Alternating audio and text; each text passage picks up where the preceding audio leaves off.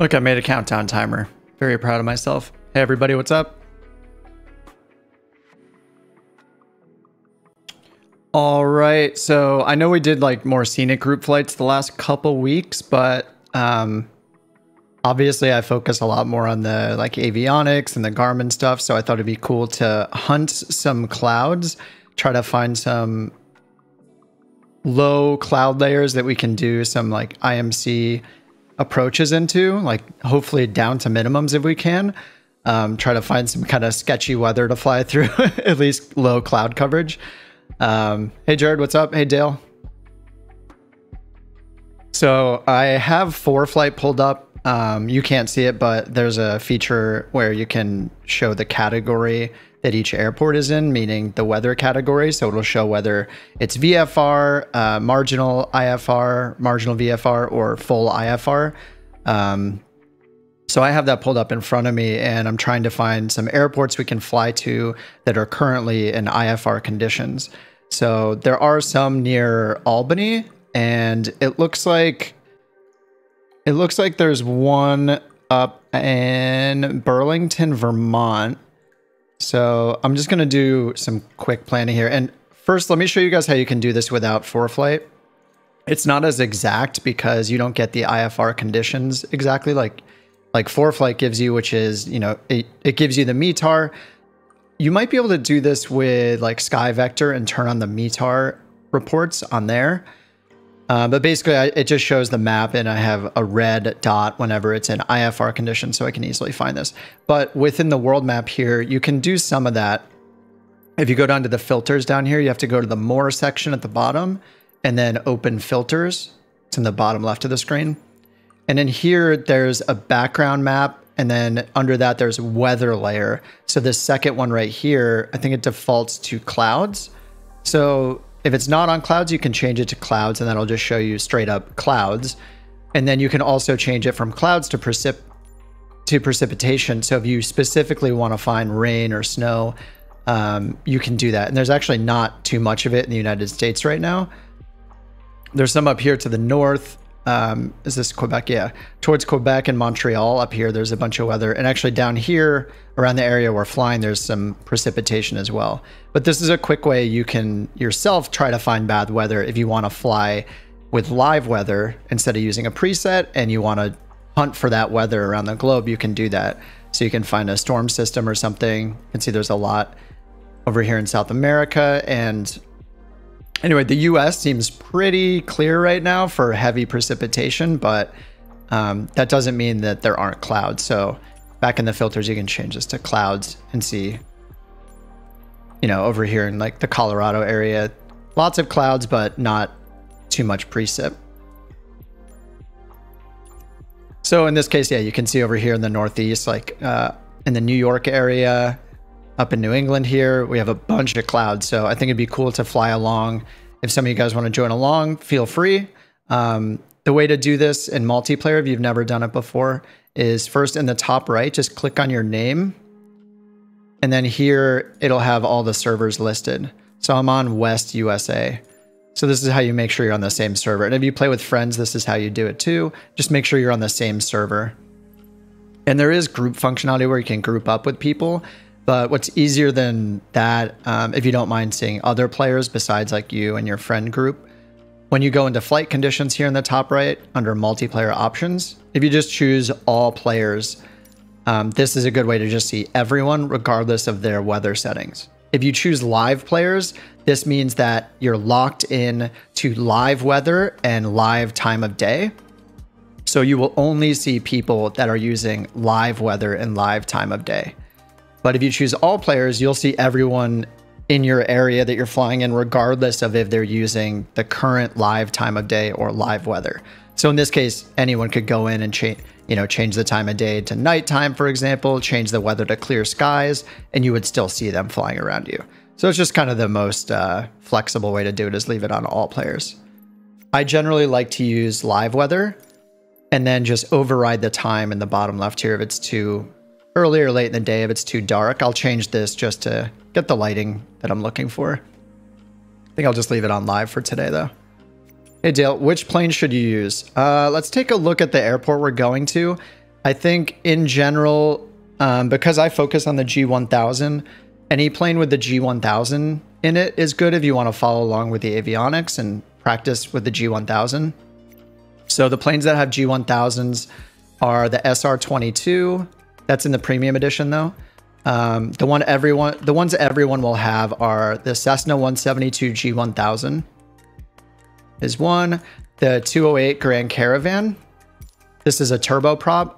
I I think the Caravan is one one of the most versatile planes. I think you pretty much can't go wrong choosing the 172 for a little slower and then cru- and then choosing the Caravan for something a little bit faster. I think the Caravan's like just as easy to fly as the 172. Even though it's a turboprop, that kind of seems intimidating even for me to think about, but a turboprop is not uh, this one specifically is not all that difficult to fly. We're not going to fly it to like a study level because uh, I couldn't teach you that, but in general, you just leave the propeller and the fuel condition levers at maximum. Um, you can lower them during taxiing and if you want to reduce noise, but in general, and you know, especially when you're just doing this sim casually, you can pretty much just leave them at max and only use the throttle, just like you're kind of used to doing um, in other simpler planes. So it's less intimidating than it seems if you've never flown the Grand Caravan before. Um, other planes are the Bonanza and the Baron, both the Beechcraft uh, planes have G1000. So G36 Bonanza and the 58 Baron, those have G1000. And then finally, the Diamond, uh, the DA40 is a good one as well. Everybody has this plane as well. Um, so, in terms of if you have the standard edition of Microsoft Flight Sim, so you don't have the deluxe or the premium add on, go with the 172, the 208 Grand Caravan, or the DA40. Um, actually, right now, I would avoid the DA40. Sorry, I take back the DA40 because the current patch made a change to the nose wheel. Um, the DA40 in real life has a, a castering or a free castering nose wheel, which means this wheel does not turn like it does on the 172, where the nose wheel itself will actually turn left and right to steer you on the ground. How the DA40 and actually the Cirrus as well, how they work is you actually apply braking to turn. So this wheel will turn on its own. You don't have control over the wheel itself you apply brakes to turn in the direction you want to turn. Um, and that's very messed up right now with the DA40. So I would avoid that. Um, I'm going to fly the Grand. Uh, I could fly the Grand. I'm going to fly the Grand Caravan. Um, if you guys want to fly the Grand Caravan as well, that's great because um, you'll catch up. And if you haven't used it before, I, I would give it a shot during the stream if you're going to fly along because like I said, it's not it's not that intimidating. It's actually easier than you think. Yeah, 172 is fine as well. We'll be a little faster in the Grand Caravan. Uh, okay, I'll fly. Sorry, but it's changed my mind again.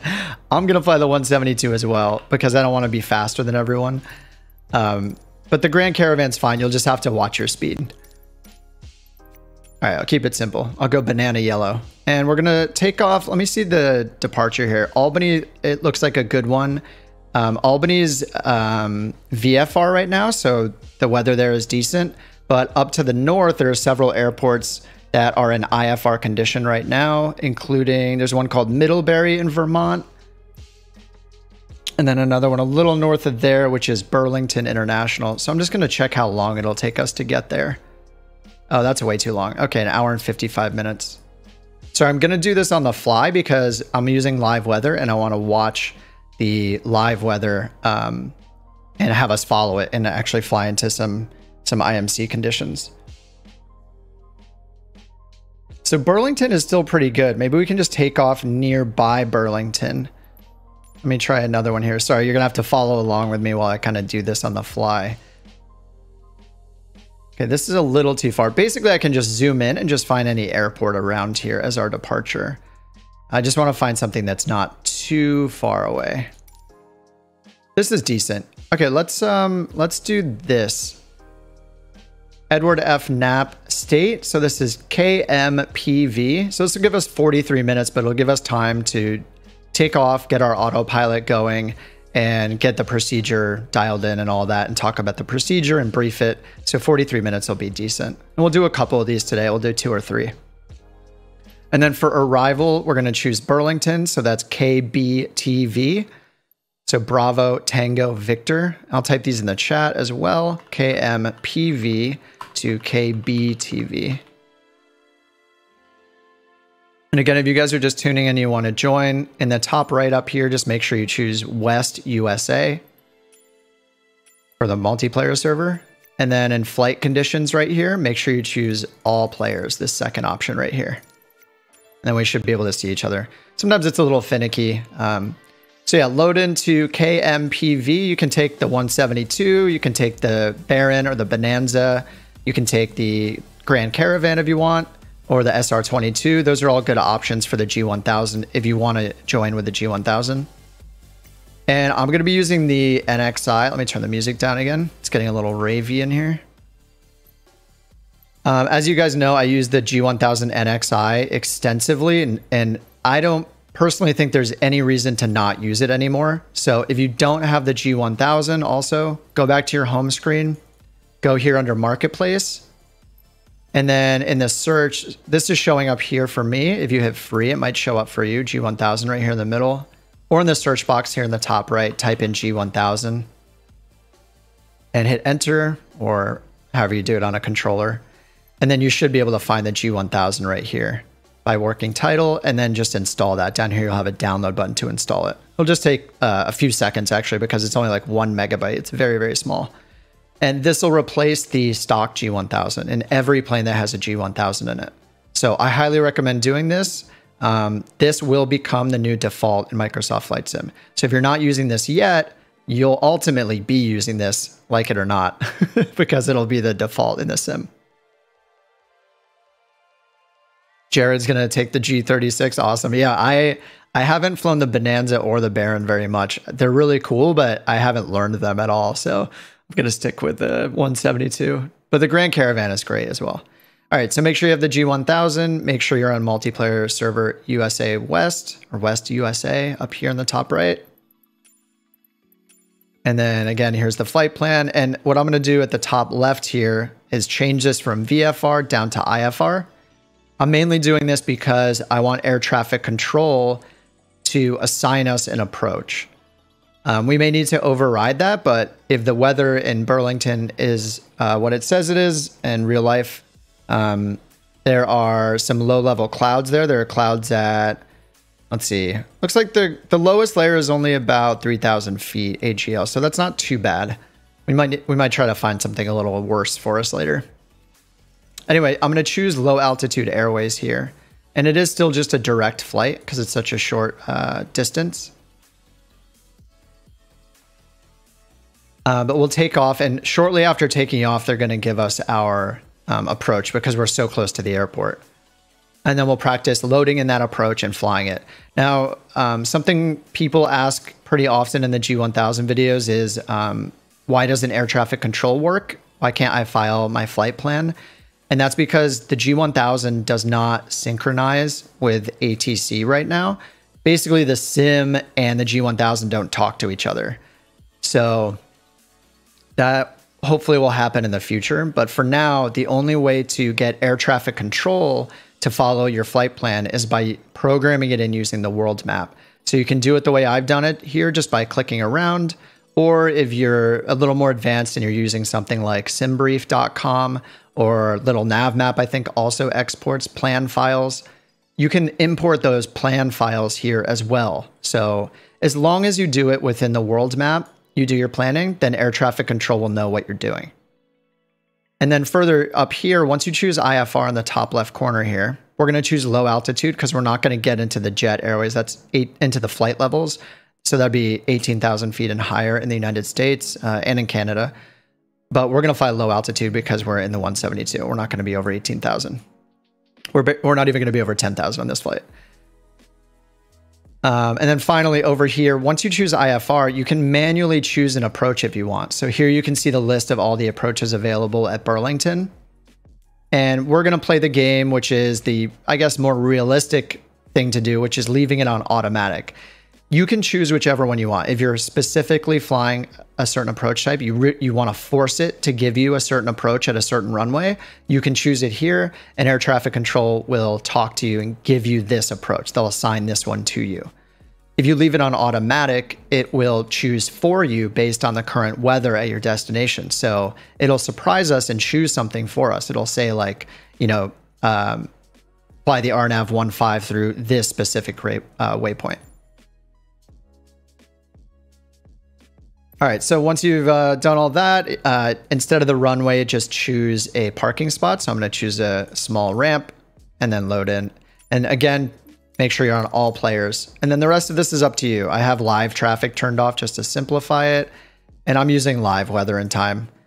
Now, if you don't use live weather, you're not going to see what the rest of us see. Um, but it's up to you. Now. If you don't want to deal with the weather, then, then you can turn it to a preset. A lot of rain here. Awesome. Moderate rain and mist. KBTV.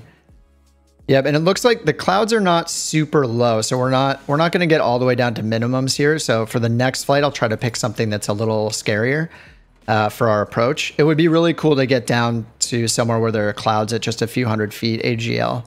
Um, right now at Burlington, the real life METAR says few clouds at 033, so that's 3,300 feet broken at 5,000, overcast at 6,000. So we'll have quite a bit. Um, we'll have quite a bit of clouds on the way in. Not so much once once we're coming in on the approach. Once we're descending, uh, we're going to be out of the clouds at 3,300 AGL. And remember, whenever you look at a METAR, uh, you look at a weather report. The cloud layers that are listed are in AGL. They're not in MSL. So that's above ground level, not what's shown on your altimeter, but what's you know the measurement from the ground. Um, and why that's convenient too is when you're on an approach, if it says, um, you know, it's overcast at 400 feet, then you know that's 400 feet AGL. And say you're on an ILS with a minimum um, high, uh, decision height of 200 feet, you would know that you're going to break out about 200 feet before your minimums. So it's easier to compare the AGL instead of, um, you know, worrying about the, basically you'd have to worry about the minimums, your barometric pressure setting and all that. The ILS is going to take you in regardless of your barometric setting or your altimeter setting. Um, anyway, yeah, cloud layers are in AGL. All right, I'm going to get this started using the assisted checklist as always because I'm lazy. And when it freezes, that means that I have to push a switch on my throttle quadrant here on my honeycomb. Test and set the brakes. 6B0, Middlebury stay as Broken Clouds, 800 AGL. Where is that at? We can switch to that next. Let's do this as like a warm-up one. Then that sounds awesome, Gabriel. Yeah, something like 800 AGL or below. Anything below 1,000 would be great. Uh, hey, Michael. I set up uh, last night trying to log a flight plan on your 530 in X-Plane using your tutorial in the 530. Oh yeah, it should work roughly the same. I mean, they're both going to mimic the 530. Um, and actually, the X-Plane version should have a few more bells and whistles compared to the stock Microsoft version. Um, you could install the mod on Microsoft Flight Simulator if you want. There's a free 530, 430 mod. Um, if you just Google it, you can find that pretty easily. It's by the same guy that makes the um, GTN 750 mod but that's a good one. It, it adds um, a few pages. It adds a traffic page. Um, it adds, uh, what else? A VNAV page, stuff like that. Don't be lazy. For the sake of all of our time, I'm going to be lazy with the checklist. and so I can read chat while this is happening. Oh, it worked great. Yeah, the mod is really nice. I, I'm, a, I'm a big fan. Yeah, I'm not flying a real plane in real life. As you guys can tell, this is a simulator, so I am going to do things that save time and uh, just get me to the uh, to the fun part, which right now is flying in some IMC down to our using our approach through IMC. If this was a uh, live stream and a camera and a real plane, I would definitely expect people to be like, uh, "That's not safe what you're doing." But uh, thankfully, we're in a simulator, so we can uh, we can treat it as seriously as we want from flight to flight and i do that some some flights i'll take it very seriously i'll try to i'll manually do the entire checklist and all that i'll check the weather uh, furiously on my approach and you know all that stuff. But for the stream, for uh, you know keeping up with chat and simplifying my workload, I definitely will take shortcuts and keep it a bit more casual. Hey Mekin or Mekin.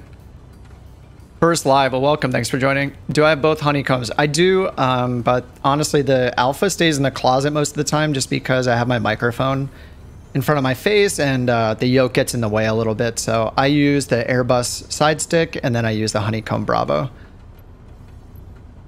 Uh, but I highly recommend all the Honeycomb stuff. Their their stuff is amazing.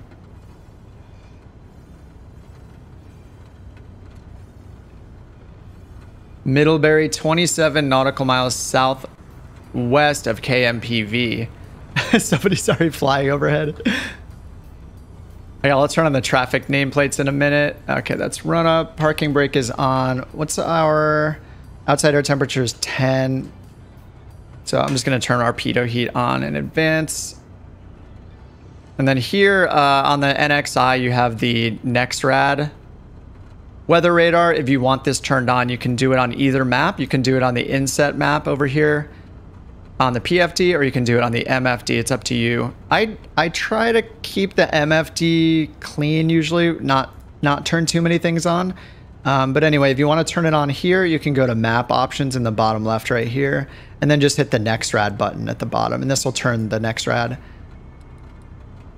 uh, weather radar on. Now this isn't um, this isn't a capability of radar on the plane. Some planes have their own um, like weather radar capability, like the TBM has its own um, weather radar like on board. Um, this is NEXRAD is like the satellite based stuff. So this is, um, you know, delayed. Something on the TBM would have like a radar that's like basically a real time scan in front of the plane as you're flying, uh, which is pretty nuts. But yeah, this is uh, this is from the satellite data. Use buttons on the TCA. Yeah. Um, I use I, I mostly use the the hat for just quick look left and right like this, and then I'll push it up to oh it's Sirius XM. Uh, I'll use up and down to like look up like this, like when I'm taking off and landing for this closer view. And then if you hit down a couple times, it'll put you into this view and you can cycle through all the views with left and right. So all of this you can do just on the hat. So I do this a lot on the thumbstick. Um, and then I use, you know, just the autopilot disconnect, and I have one button set for smart camera on my thumb.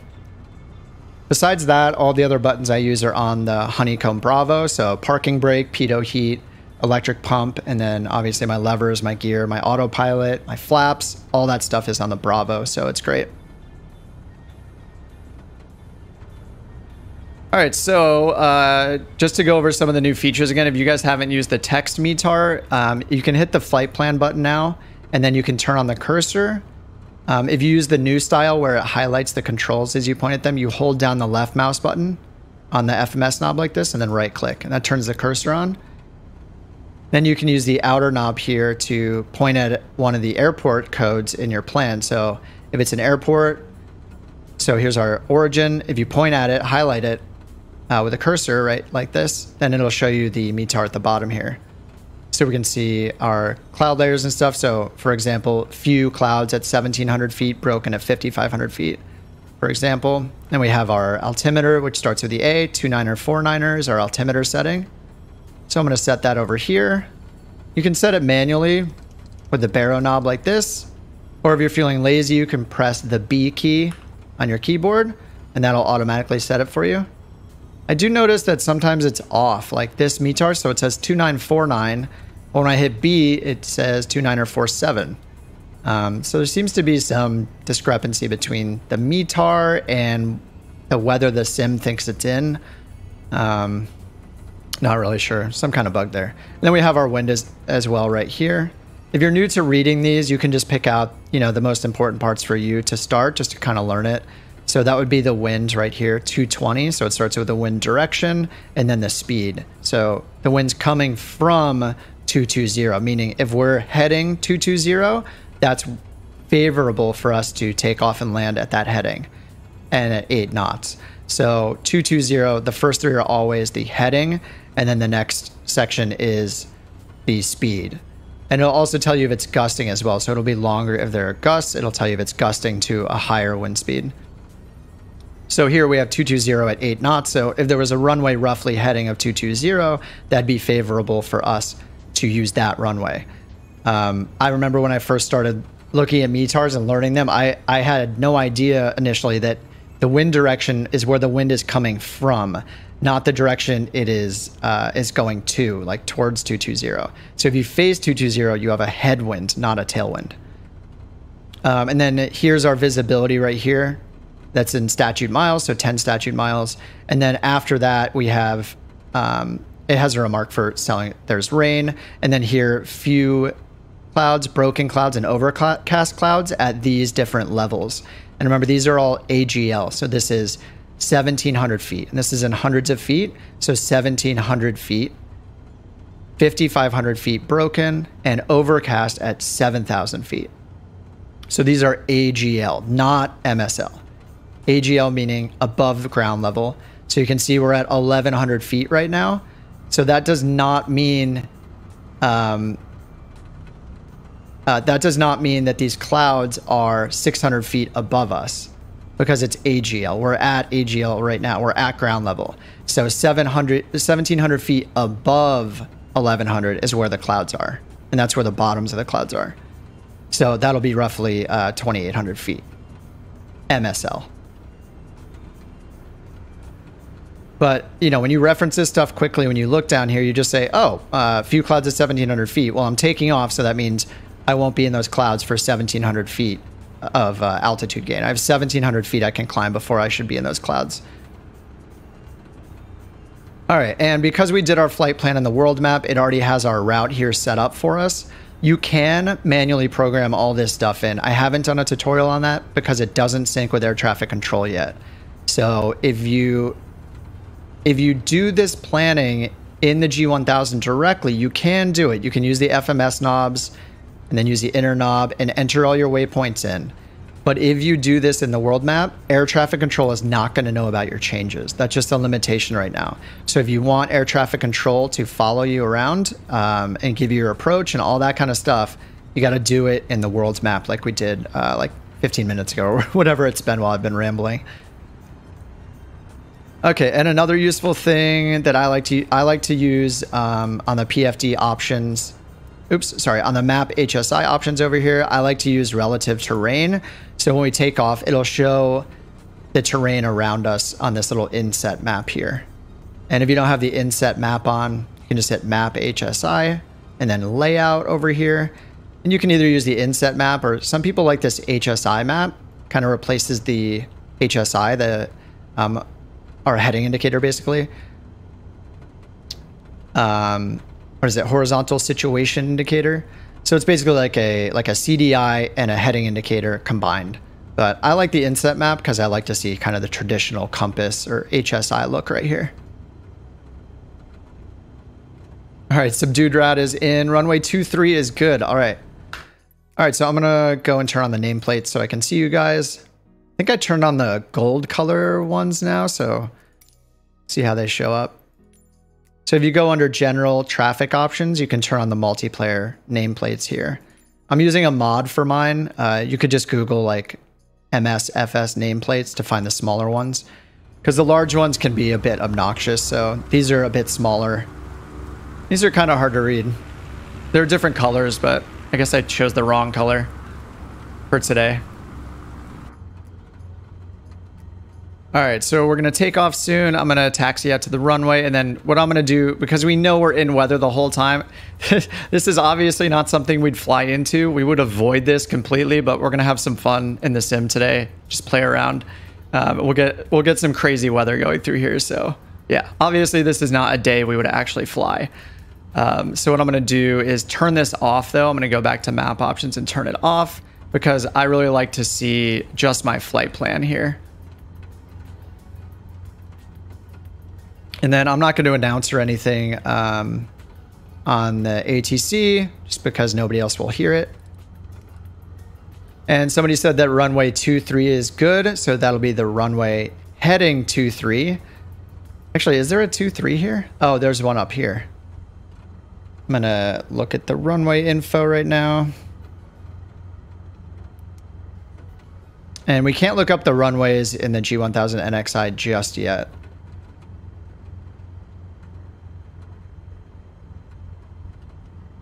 So KMPV, this was Edward F. Knapp. And then, yeah, we have a 5 and a 2 3. And then we have a 1 7 and a 3 5. And so the wind is the same at all the runways at about 8 knots. Look for some alternates, yeah. I mean, the, you know, yes, realistically, we would look for some alternates for sure. Or, you know, realistically, we wouldn't fly in this at all. Uh, you know, this is insane to fly in there. We have severe weather over our destination airport.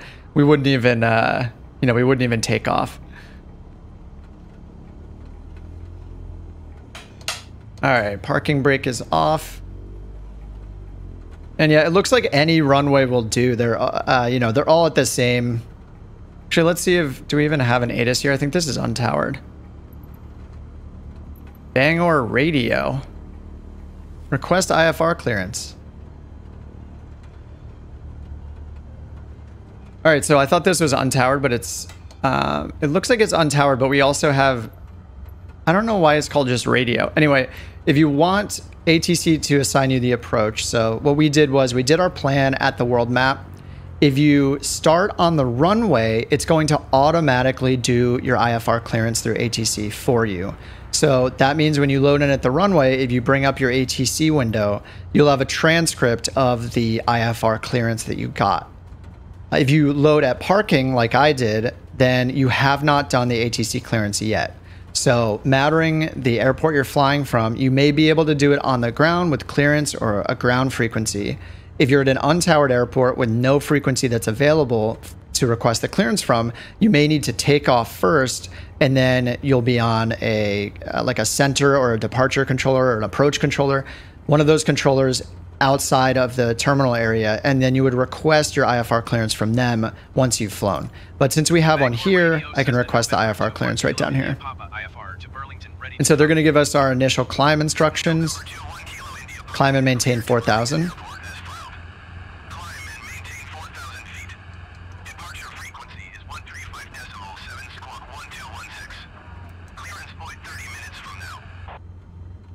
Okay, I'm going to read it back. As soon as you read it back here, it's going to automatically set your um, squawk code, which is your transponder code, and put it in altitude reporting mode or mode C. So you'll see right down here, it's going to change from 1200 standby. It's going to change to 1216 and then say altitude. So that's automatically on. You could do this yourself if you want. Um, and the way to do that is just go to the transponder button right here, X ponder, transponder. And then here, these are the different modes on the left. So altitude reporting mode. So this will show them the altitude that uh, our plane is reporting to be at. And then here you can hit code and type in the four digit code. So in this case, it was 1216. But it'll set it automatically for you if you do this with ATC and you hit the read back button. And then they told us to climb and maintain 4,000 feet. So the first thing I did down here on my altitude knob for the autopilot, I used the outer knob. So this inner knob is hundreds of feet. The outer knob is thousands of feet. And mattering what you're flying, you may just have one altitude knob. And I changed the selected altitude right up here to 4,000. So that's our initial climb and maintain is climb, maintain 4,000. So that's what we're going to do when we take off. The next thing I'm going to do to set up autopilot is I'm going to set up our vertical mode. So I'm going to do all this so when we enable autopilot, it's just good to go. I'm going to turn on a heading mode for now, even though uh, we're going to wait to sync this to the runway heading. Once we get to the runway, I'm going to hit flight level change mode. Flight level change mode lets us specify a speed to climb at instead of a rate in feet per minute. In my opinion, you should pretty much always use flight level change when you're climbing with autopilot. And what do you set this to? The easiest thing to do is to set it to your VY speed. This is your best rate of climb. Uh, this isn't always what you'll climb at. You may want to climb closer to VX, which is for obstacle clearance. You would use a slower um, airspeed so you can climb faster but your most efficient or best rate of climb is Vy.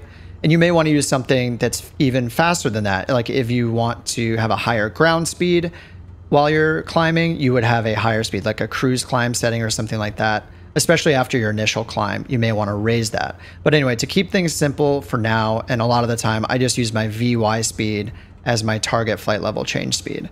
So here I'm going to hit, uh, sorry, it's counterintuitive, but this is correct. Um, I'm going to hit nose down because when you pitch the nose down, it increases your speed. So it sounds weird when we're not in the air, but nose down increases your speed. So that's why you have to hit nose down to turn the number up. Um, so I'm just going to hit that a few times until I'm at 74. And you could, you know, if you want that higher ground speed, you could turn that higher. Um, once you're in the air, the nose up, nose down uh, terminology here on these buttons makes a lot more sense because if we're in cruise, let's say, and we are changing, you know, we're using uh, flight level change mode, if we hit nose down, the nose of the plane will pitch down to increase our target airspeed here for the autopilot. So that's why that's why it's it feels flipped, but it's really not. All right, so 74 knots. So we're good to go. Um, so we're gonna go over to which taxiway? We can use whatever we want. Mr. Mondeo, yes, West USA. Um, you can have live weather on, but make sure you have all players turned on. So when you're in your flight uh, condition menu or you choose multiplayer, make sure to pick all players. Uh, that's just the most. Um, it's the most. Um, reliable. I think it's just the easy. It just simplifies things, and then people have the flexibility to choose their own time of day and that stuff. And yes, KMPV is the departure airport. That's Kilo Mike Papa Victor. KMPV. And we're gonna do a couple flights, so you can always um, you can always catch up uh, for the next one. And I got our pitot heat turned on already. Fuel pump is on in advance. Only one taxiway. Yeah, looks like we could go... Let's see where I'm at here. Yeah, looks like we could go to 1-7 or 2-3. 1-7 seems to be the easiest. It's a slightly longer runway. Um, it doesn't really matter, though. The wind is variable. Um, and, you know, we're not again, we're having some fun with this. We're just we're learning some about the NXi. It's okay if we bump into each other and goes through each other. I'm not taking this whole thing super super seriously, right? We're gonna do some flights. We're gonna practice using the NXi for some approaches. Uh, if we bump into each other or uh, speed on the taxiway, you know, I'm not gonna I'm not gonna worry too much about that because, you know, I like to have a good balance of fun uh, and seriousness at the same time. Like we're we're, we're learning the systems, and we all know that this isn't real life right now. Um, so you know, unless you're really focusing on practicing that stuff in the sim, I think it's okay to just you know chill out on those things and you know just reduce reduce your workload and have some fun with it at the same time. I try to strike a balance. I know some people take it much more seriously, but um, I always try to remind people that like the flight sim is not necessarily just for people that are learning to fly in real life. It's not for people that are, and even for those people, they don't always want to go through, you know, the paces of doing every single possible thing perfectly when they're in the sim. We can just choose to focus on what we want to choose on, choose to focus on. So that's why the sim's really powerful. Is um, you can focus on the things you really want to learn at that moment. Anyway, it's a bit of a rant.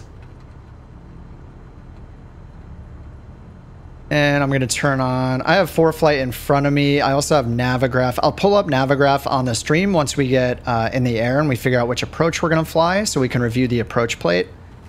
Um, if you guys do not have Navigraph, I mean, for now you can just look at the stream to see the chart. Navigraph uses Jeppesen charts. So those are worldwide charts that you can use. Um, if you're in the US and you don't have Navigraph and you don't have access to Jeppesen charts, you can always use the FAA charts in the United States. Those are free. There are some differences. Um, supposedly, people that fly in real life, like real pilots, tend to almost always use Jeppesen charts for IFR stuff. Um, but, you know, use what you have available. And another site that's really good for grabbing charts worldwide is ChartFox org, I think, chartfox.org. That's a site where you can find freely available charts like the FAA charts, but worldwide. All right, so we're going to, looks like runway 17. You can take off, if you guys are on the other side of the airfield at the other parking, you can just take off from over there.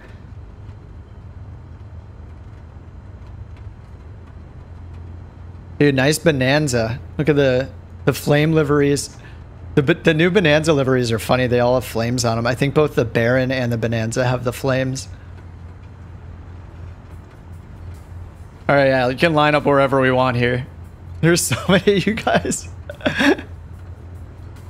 I like that we're all spaced out. We don't have to be, but we're just spaced out. All right, so once we take off, remember, we're going to be... Uh, our course is to the northwest, but we're going to fly runway heading first. Um, and what we're going to do is... Right now, I'm going to sync my heading bug straight ahead by pushing this button. So heading of 170 roughly. So when I turn on autopilot, um, we'll be able to just maintain that.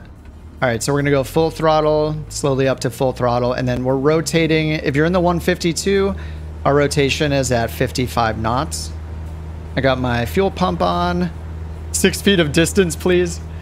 Yeah, we do. It does feel like we got a little bit of a crosswind from, it looks like the right a little bit, but I'm having to put in a lot of left rudder.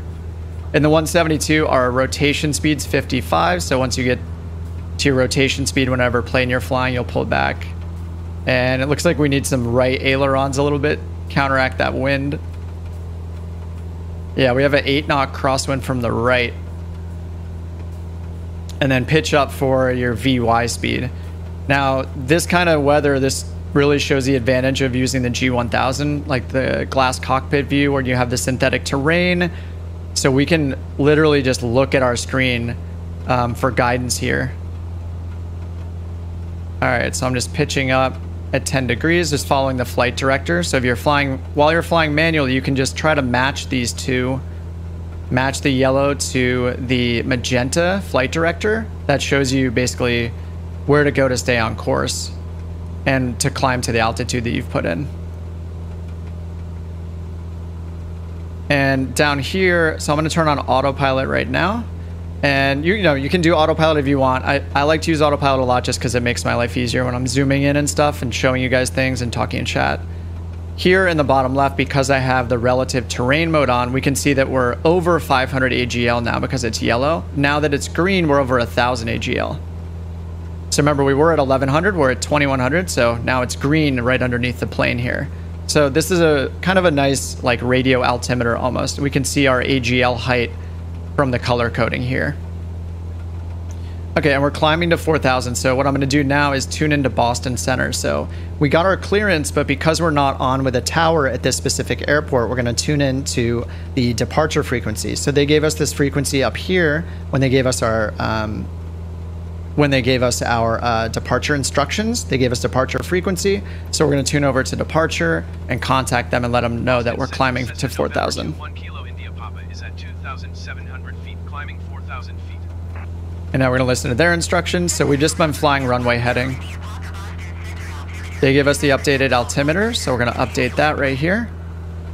As always, you can hit B if you don't want to reach down and zoom in and stuff.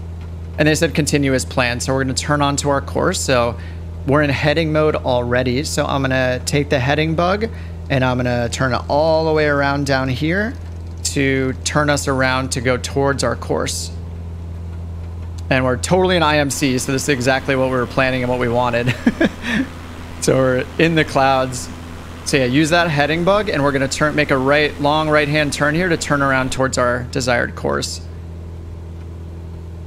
And you can see here that the line is broken to the right, so I'm gonna keep turning the heading bug to the right, right here, and just come at the broken line at an angle. So we're gonna go towards our course that's planned right here to the right. So I'm just turning that heading bug to point towards that direction. Now the weather is insane. We're, we're, we would not fly this in real life. The, the weather is absolutely nuts, but it's going to be fun to fly this in the sim. And I definitely recommend using the autopilot. Uh, you know, if you're if you're not if you don't use it that much and you want to learn it, um, or in, you're in weather like this, like it's really nice um, to turn it on and just have it hold us um, steady. Sometimes the autopilot will actually get tripped off if the weather's too severe. We have like a 30 knot crosswind. We would never be flying in this in the 172. Um, but you know, it's the sim, so it'll be fun. Hopefully it doesn't uh, destroy our plane. All right, and now what I'm going to do is hit nav over here because we're getting close to the course. And now it's capturing it. So um, just a reminder, with the NXi, you need to fly close enough to your programmed course before you can hit nav mode for the GP or GPS. That puts it in GPS mode up here. Until you can use nav mode, you have to fly close to the course. And you can do that manually or you can do it like we just did using heading mode. All right, and I'm gonna pull back on our throttle a bit here. We were over, uh, our RPMs were in the red. So I'm gonna pull back down to about 2,400. Bring it in the green arc over here on our engine instrument display or EIS, engine information system panel over here. Let's bring it back down into the green. And that'll make it less bumpy with all this crazy crosswind that we're in. I see some of you guys behind me. I see a Rosh. Does that say M Rose, I think? You can tell the plates are really hard to read. I think I chose the wrong color.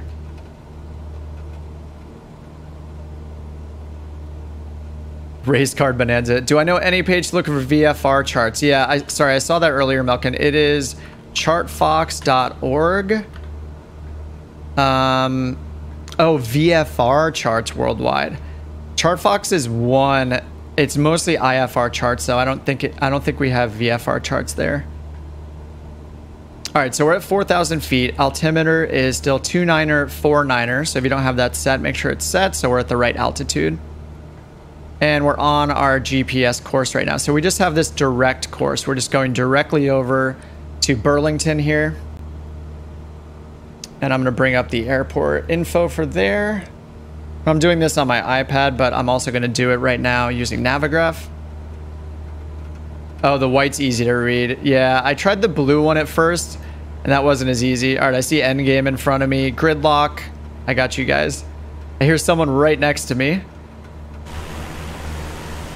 Formation flying it. Formation flying an IMC.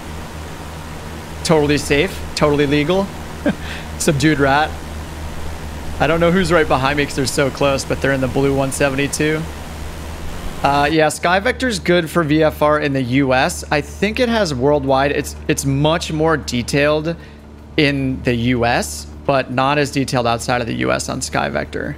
So I honestly don't know the answer to that just because I fly in the US primarily. All right, I'm turning my... All right, we're over 3,000 feet, so I'm going to lean my mixture just a little bit. And go over here. I'm still actually trying to learn how to use the lean properly. Um, I did talk to one of the working title guys, K2. He was talking to me about it um, and pointing out that you don't have to lean and then turn on the assist, that you can turn the assist on first and then start leaning. Uh, but anyway, I'm just going to lean this a little bit. We're only at 4,000 feet, so it's not a huge deal.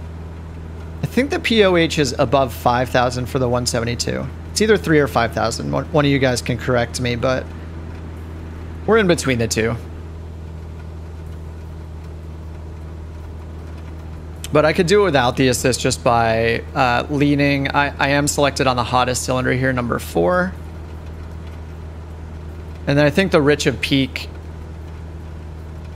on this is to go minus 50 to minus 100 degrees from peak EGT. So it looks like 1510 roughly is the peak.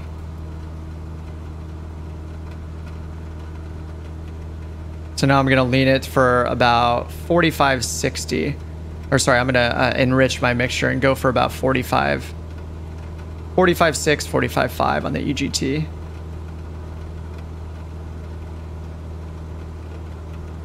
Still learning about mixture. I have a lot of articles to read about it. I just haven't done my homework quite yet, as you can tell. And the EGT does not um, update super fast, so I might have overshot it already. I'll see in a few minutes. The wind is wicked. Yeah, this is insane. Yeah, we're at a 30 knot cross, or not, you know, it's it's from the front left, but uh, we can see the crosswind component if we want by going to uh, PFD options and then under wind, Option two just gives us like a windsock basically.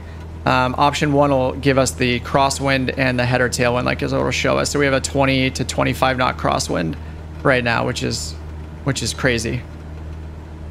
Um, if we go here, this is the full wind speed. So yeah, mattering where we are, it looks like it's pretty, it's varying quite a bit right now.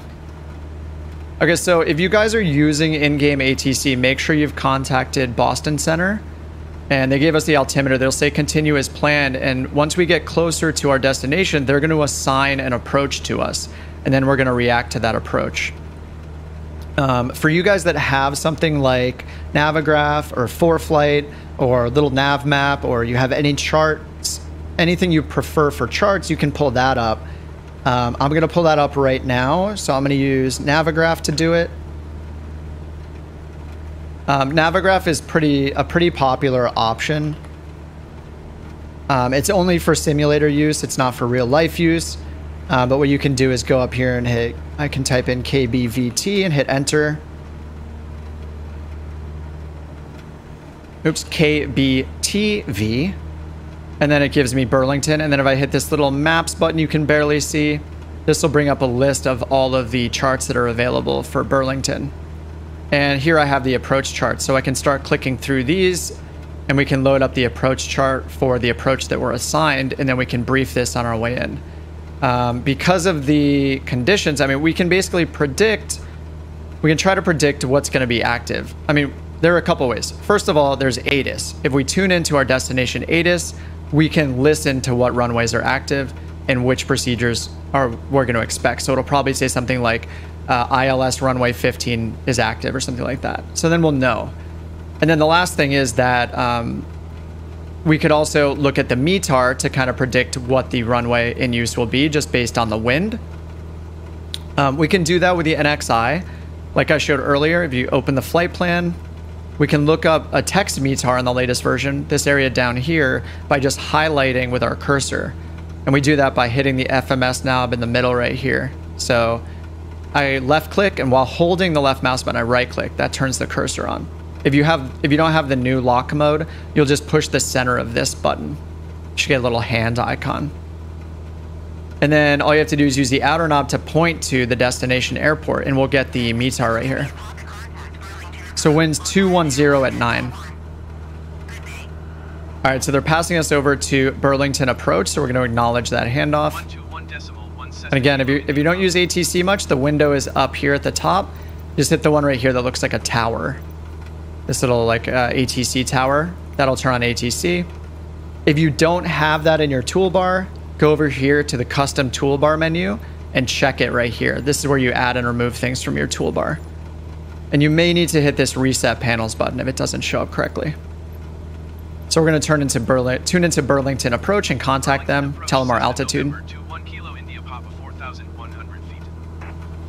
Hey Trymon, what's up? You can join in the next one if you want. All right, 29er, 49er, which is what we have still, so we're good. And we're again going to wait for them to give us the approach, but until then, we can figure it out in a couple ways. So first of all, if we look at the METAR, it's 210 at 9 knots. So any runway on a rough heading of 210 is going to be favorable for the winds. Um, the runways there are one niner and one five. So, and then there's a three three and a zero one. So let's see, the one that would be closest would be, I guess, runway one niner would be our preference, right? So that's only 20 degrees off from the wind. So we have 210 here.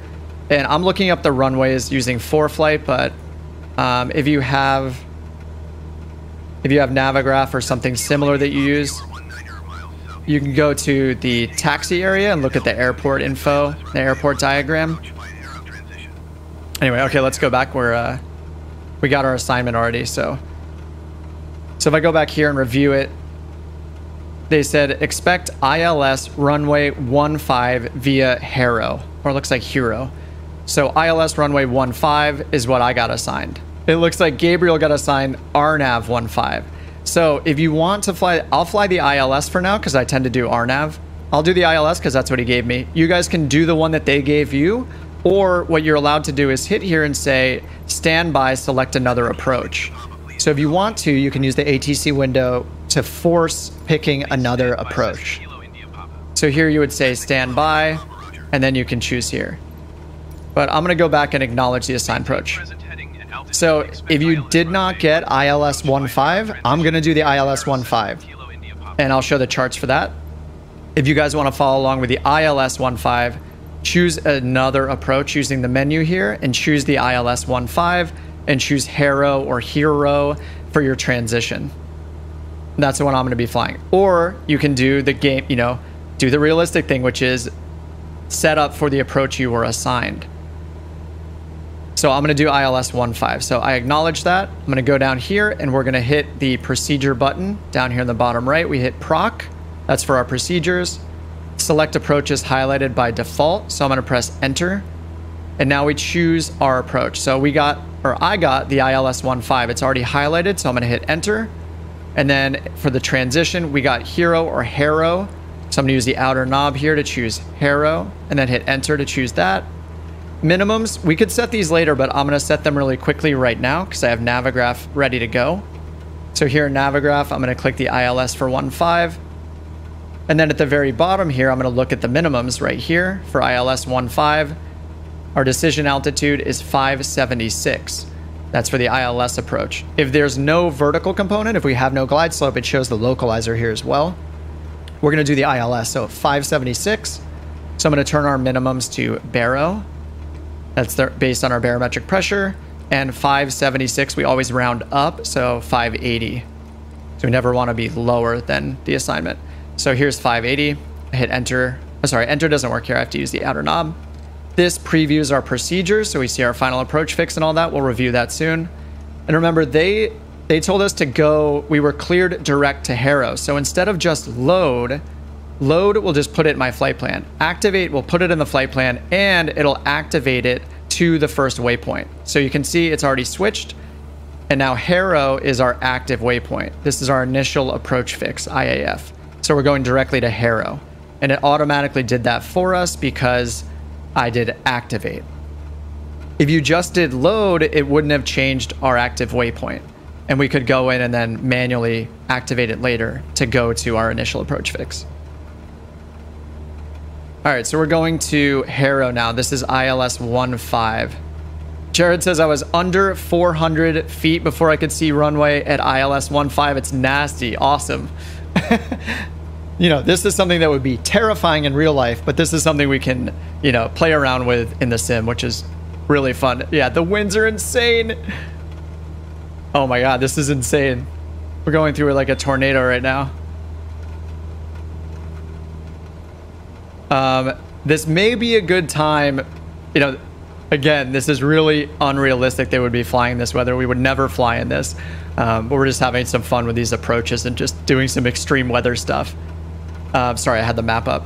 Um, so uh, what you might want to do is go into your general options and turn damage off because if it throws the plane around too much, it'll just end your flight, uh, which can be uh, which can be a pain. Yeah, Gabriel, I got it. Sorry about that. Um, so yeah, if you if you don't want to risk it black screening and ending the, you know, I call that a game, ending the the session, you can turn off your damage temporarily. Um, I'm gonna do that just for the sake of the stream because I don't want it to uh, I don't want it to end the stream. So under here, if you go to failure and damage, you can just turn off like the engine stress damage, for example. This would be the one the wind would apply to the aircraft stress damage. So I'm just going to turn that off so it doesn't end our stream. If I crash, that's my fault, but aircraft stress, I'm just going to turn that off for now because the winds are insane. Okay, so anyway, we loaded our procedure over here. So if I zoom out, it's hard to see. Let me close the flight plan. And now in the latest, um, in the latest NXi, you can pan the map.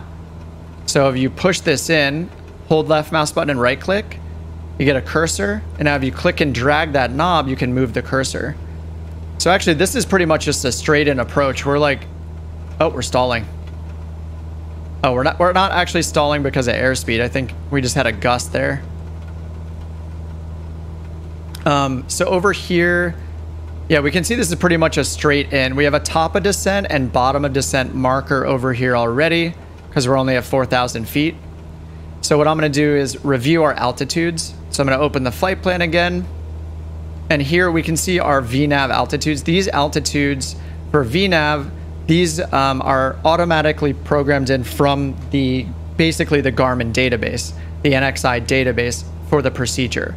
So these will match up with our approach plate over here. So if I look up the approach, we can look at our altitudes here on this profile view. So we have 2,200 feet right here on the left. And then we have 2,000 here at the final approach fix. So right here where it says FOVS with a little X, that Maltese cross, that's the final approach fix. It also says GS, so that's glide slope. So we'll get the glide slope at 2,000 feet. Now this is an ILS, so this is not an RNAV approach. So because it's an ILS, we have a localizer frequency to use, and that'll automatically be programmed in for us. Um, so if we want the ILS frequency, it's up here at the top, 110.3. It says localizer. So that's the localizer frequency. We're doing the ILS, so we'll have a glide slope. Um, so that's 110.3. So let's go back here and make sure that's actually what's being used by our navigation radio. And yeah, 110.3, it's right here. You can see that it was programmed in automatically for us. So when we get to the initial approach fix, let's see, we're on the way. So we're 14 miles away from the initial approach fix still. Um, once we cross the initial approach fix, we're going to be preparing, you know, after that, we'll eventually be at the final approach fix. We pretty much want approach mode turned on before we get to the final approach fix. And that's on the autopilot. Um, so we'll use that to capture the glide slope. So in general, you're going to get your vertical guidance at the final approach fix. If you guys are doing an RNAV approach that has vertical guidance, so that would be an LPV or an LNAV VNAV on the chart. I'm sorry. Let me do something real here, real quick. I'm going to turn on an automatic thing. All right, that shouldn't be a problem again. Sorry, guys. So here, um, initial approach fix. So this is where we're heading right now. That's the start of our approach procedure. And that's where they directed us to go is to Harrow or Hero. 3,400 feet. What I'm going to do is set up my VNAV first. So here at the final approach fix, we want to be down to 2,000 feet by the time we get to the final approach fix called FOVS. So 2,000 feet is our ultimate target altitude before we'll get our vertical guidance from the ILS in this case. So I'm just going to turn our altitude selection here using the altitude knob down to 2,000 feet. And you can see VNAV right here is 3,400. So it's showing our next target altitude in magenta is 3,400 feet.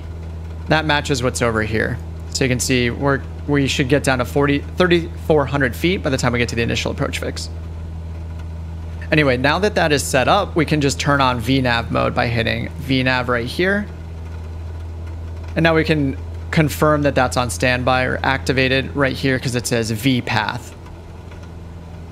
So that means that when we get to our top of descent marker, which is already calculated for us in six minutes, it looks like, our top of descent, it's going to be on the map over here as well. There's this TOD. That's where it's going to start. That's where it's going to start the uh, descent for VNAV for us, is at that top of descent marker. So that'll automatically bring us down to 3,400 feet when we get to our initial approach fix at Harrow or Hero. Now we have a procedure turn as part of this and we're coming in straight in. So we don't really need to do this procedure turn. Like we wouldn't do this coming in on a straight in unless ATC told us to. Um, actually, technically we would, we would do this unless ATC told us not to. Um, but or they cleared us to, you know, they vectored us to the final approach fix, for example. None of that stuff happens in Microsoft Flight Simulator. The air traffic control isn't going to tell you to not fly the procedure turn. Um, so what I'm going to do is just delete that from our. I'm just going to delete this procedure turn. Oh, I'm wrong. Sorry, we're coming in from the opposite direction. Yeah. Actually, no, we're going to leave the procedure turn. Sorry, I didn't even review it. I've been so caught up talking that I didn't review the thing, which is a great, great mistake there. So yeah, we're doing the reverse course, yeah. So we do need the procedure turn because we're turning around in this case. you guys that got the 3-1 approach, or the 3-3 approach rather, instead of the 1-5 or the 1-9, you guys have a straight in approach. Um, the one I got for 1-5, or sorry, 1-9 is the opposite side.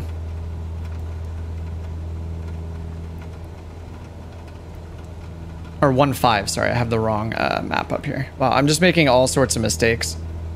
KBTV, there we go. Okay, there we go. I had the wrong uh, stuff on my ForeFlight. I'm doing ForeFlight and I'm doing Navigraph and I'm doing the NXi all at the same time. So sorry about sorry about the mistakes here. All right, so 3,400 feet. So that's our initial approach fix. So yeah, like uh, Macon is pointing out is, yeah, we're doing the reverse course. So our initial approach fix, we're going to fly over this point um, and then go outbound and we're going to make our procedure turn. So our reversal to come back towards the airport and then we'll fly heading southeast bound for runway 15. And one thing you can do in the new version um, of the NXi, the latest version, is go to the flight plan and turn on the cursor like this again with the FMS knob. And as you move from one point to another and highlighting them, it's going to automatically move the map for you. So this is a, an easy way to review the flight plan which I hadn't done yet. So here, if I highlight Harrow, I can see us heading to the initial approach fix right over here. Highlight the procedure turn, it's gonna show me from Harrow to the procedure turn, we're flying outbound. And then you can see us making our turn here. And then after that, we have, I think this is, this waypoint, I don't think we should technically see this. Um, I'm gonna ignore that for now. I think this is this is part of like the internal NXi route or something after you complete the procedure turn. And then after that, we go on to the final approach fix here.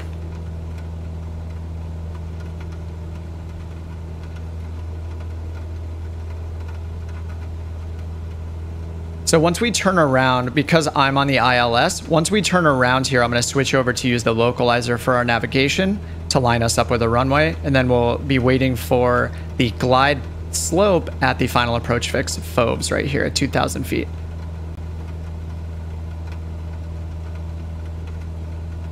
All right, so let me just review. I'm going to review that again just for my own my own brain. So we're doing the ILS 15 at Burlington International. We're using Hero for or Hero for our initial approach fix. That's where we're heading. We need to be down to 3,400 feet by the time we get there. So we already have our autopilot set up in VNAV mode. So that's what the VPath means right here. So that's going to take us ultimately down to 2,000 feet. But the first descent it's going to do is down to 3,400 feet. And you can see here on my little inset map, we're coming up to our top of descent right here. So this is where it's going to start our VNAV descent for us automatically, bring us down to 3,400 feet first. And remember, you have to set your selected altitude lower first before you can enable VNAV mode on the autopilot. All right, so then once it takes us down to 3,400 feet, we're going to continue outbound to the northwest until we get to our procedure turn up here. And that's already programmed in, so it's going to do the procedure turn out here. It's going to turn to, I believe it's going to go out this way and then turn to the right, and then we're going to intercept lo the localizer course which will be on the way to our initial, our final approach fix right here, which is called Oves. That's our final approach fix. And the final approach fix is where we're going to get our glide slope. So if you guys are doing, let me check the RNAV real quick. For you guys that are doing the RNAV, it is an LPV approach. So basically you're going to treat this just like an ILS, except you don't have to switch to use your navigation radio. So this is the RNAV 15. You can see down here in the bottom left, it says LPV. Let me zoom in a bit more. Down here in the bottom left where it says LPV, that's basically the subtype. Okay, sorry, let's talk to ATC. Descend to 3400, so we're going to acknowledge. So it's safe for us to go down to 3400. Safe for us to go down to 2200. Okay, we acknowledge that as well. You can see that those match the altitudes over here in our flight plan. So they're clearing us all the way down to 2,200 feet. So we're at the correct altitude before we uh, start our procedure turn. And then we'll be at that altitude when we complete our procedure turn. And then from there, we're going to drop 200 feet more down to the final approach fix. So that's all set up for us. We don't really have to worry about that. We're going to monitor it, um, but we don't have to worry about it because we've set our VNAV down to 2000. So you can see it's already activated that just now. So it's, it hit our top of descent. It's taking us down now. I'm going to pull my throttle out a little bit because we don't want to overspeed, especially in these crazy winds. And that beeping and that O right there, that's the outer ILS marker that we're passing over. Um, and now it's capturing 3,400 feet. So it stepped us down to 34. Sorry, I know I'm going back and forth a lot here, but it's because things are happening in the plane. We got to take care of that first. Then we'll go back to the chart. If you want to silence those marker uh, those marker sounds, you can actually do that over here with the marker mute button. If you hit that, you will not hear the ILS markers. So if you're not flying the ILS or you don't you don't want to hear the marker beeps, you can turn that off.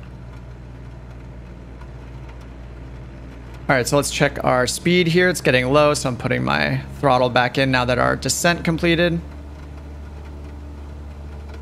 We got a bunch of guys here in front of us too.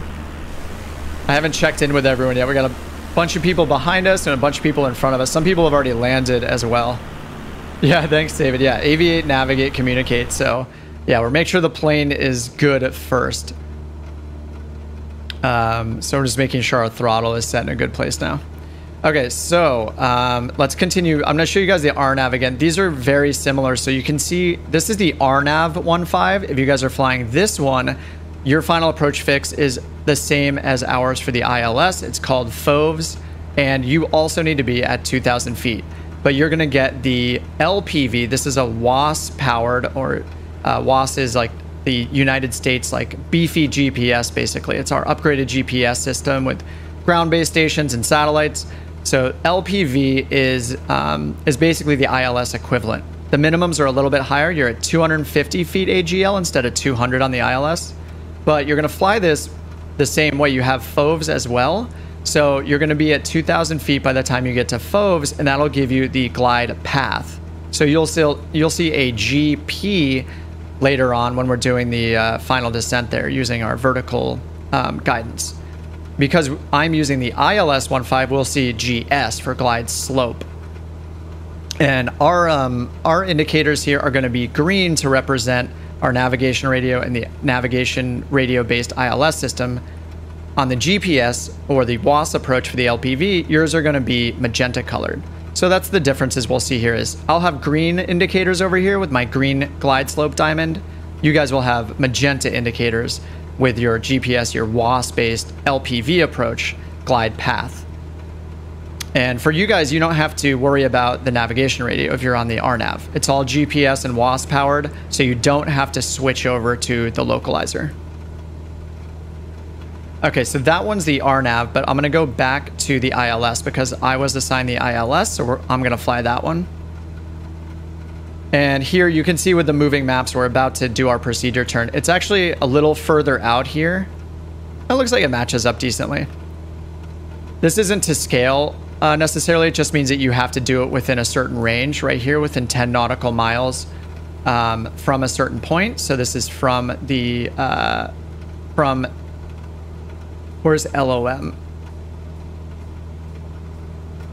I don't see that on the map. Oh, right here. LOM's right down here, which is um, this navigation aid down here to the south of the airport. All right, let's watch this really quickly before I review the rest of the plate. We pretty much know what we're doing because it's here. Um, we have our final approach fixed at 2,000 feet. That's where we're going to get the glide path, or the glide slope in this case. So we already kind of know what's happening here. I'm still going to review the chart a little bit though. Um, so we're going to make our right-hand turn and then two left-hand turns to be back um, lined up going inbound to the runway. And once we make that turnaround, I'm going to leave our navigation source on GPS because the G1000 will automatically switch. The NXi specifically will automatically switch for us um, to use our localizer. And it's already tuned into the localizer frequencies up here. It's got them on NAV1 and NAV2. I can bring those up down here on my bearings if I want to. Here's nav1 and nav2. I can also turn on DME to see our distance from uh, the localizer. So we're 12.7 miles right now. And sometimes you have to use that stuff for um, for these procedures. I'm not going to get too far into the details. We're just going to do the procedure turn and make sure we capture the glide slope to go down to minimums. And apparently this is uh, pretty low here. Yeah, people are saying 10 seconds from visual to landing nail biting is what Josh said. So I guess we picked a good one. The weather the weather got worse since we took off it seems like. Cuz the clouds were at 1700 AGL, but they're saying that they're like at under 100 AGL. Oh, 400 feet. Okay. So 400 feet, is that 400 AGL or 400 MSL? The elevation of the airport is 335. So that gives us uh, like 535, right?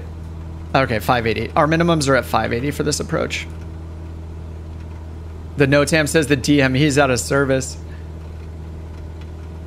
That would be crazy if the flight sim um, took NOTAMs into account and like uh, kicked you out of restricted airspace and stuff like that too. If there's like a TFR as well, that'd be really cool.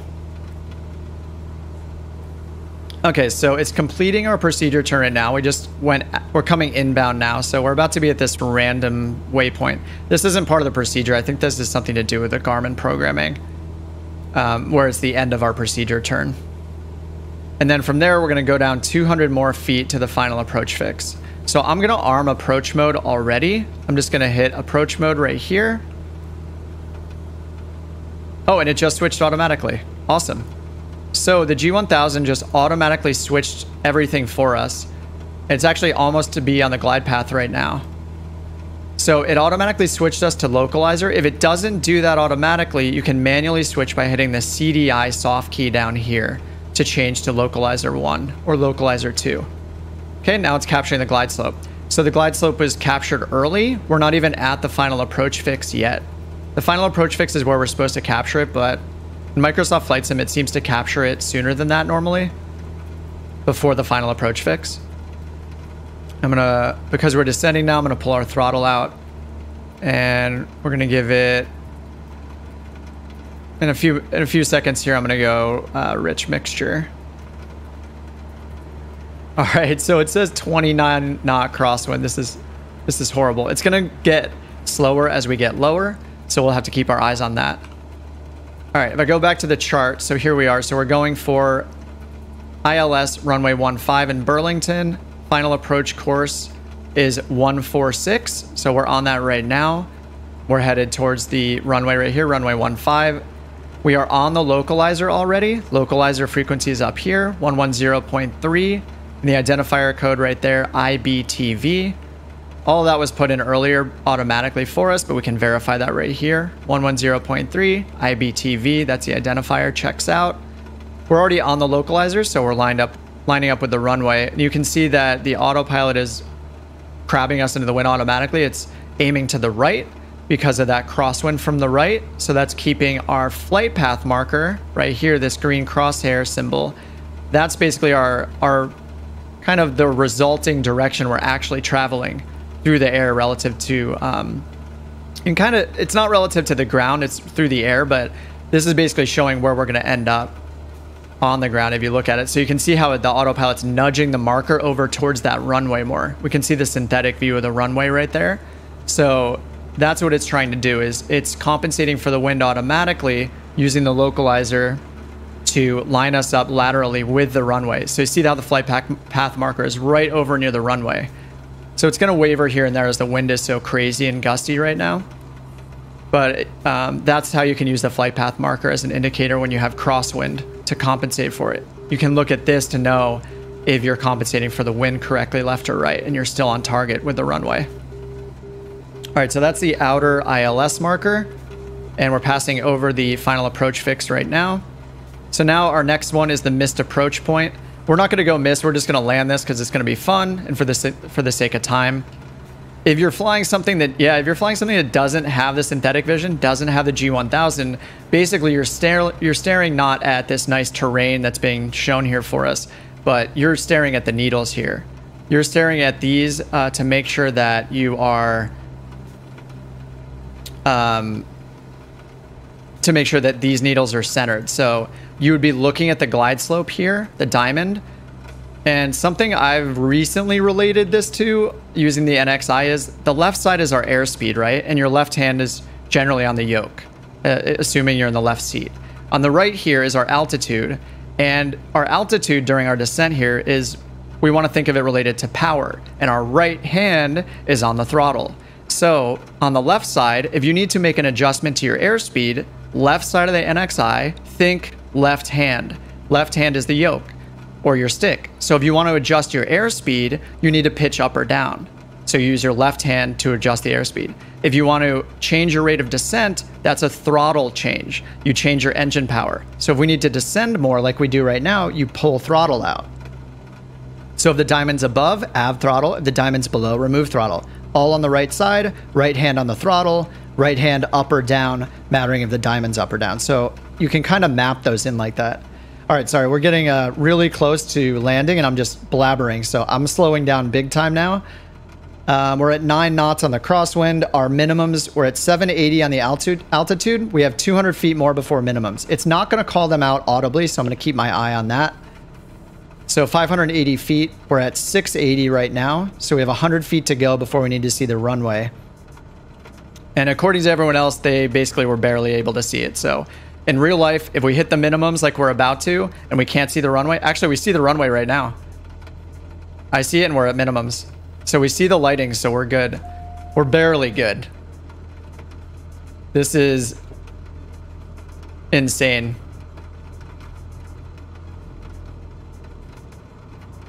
There's the rabbit leading us in.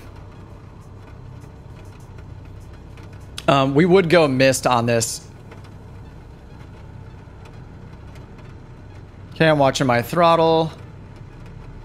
Pulling my throttle.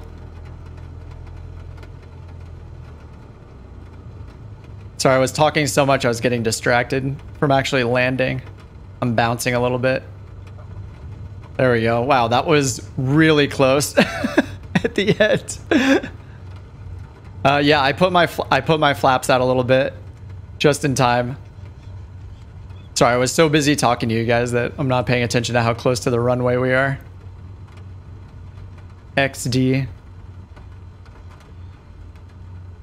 Um, so anyway, realistically, so we had the minimum set there. We didn't have a clear, I didn't have a clear visual of the runway. I saw like the rabbit lights, basically the lights that lead up to the threshold of the runway in this case.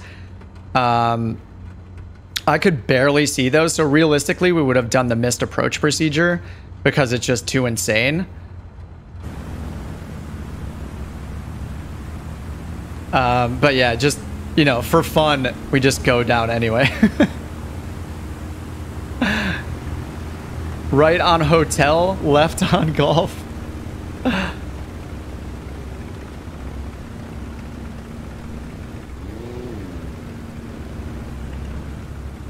Uh, yeah, that was insane.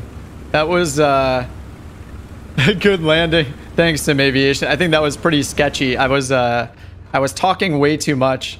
We need to. I need to insert like a chat in the Aviate Communicate Navigate or Aviate Navigate Communicate uh, checklist. It should be chat, YouTube chat, Aviate, Navigate, Communicate. Apparently, those are my priorities.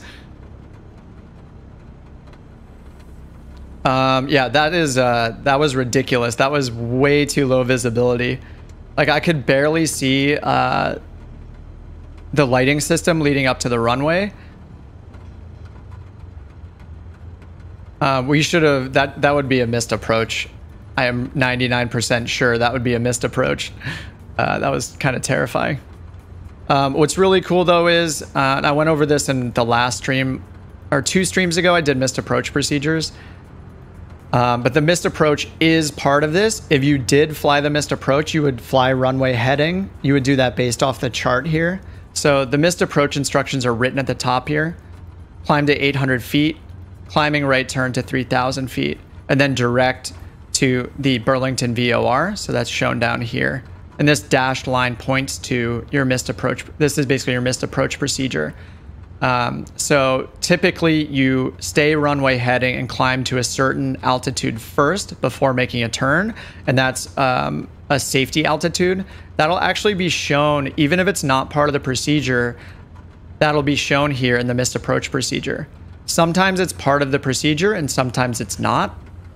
In this case, you can see it matches. Climb to 800 feet matches the 800 feet here. So this is our altitude that we need to reach before making our turn towards our missed approach point, which is this missed approach holding point right here. And that's where we do the hold. Um, so sometimes if the missed approach procedure, the, the missed approach procedure may say something like climb to 3000.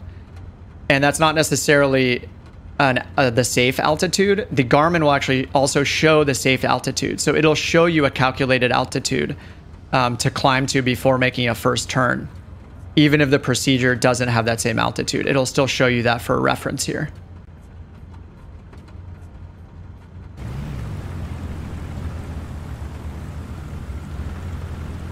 I wish I could see the nameplates when you guys are close up.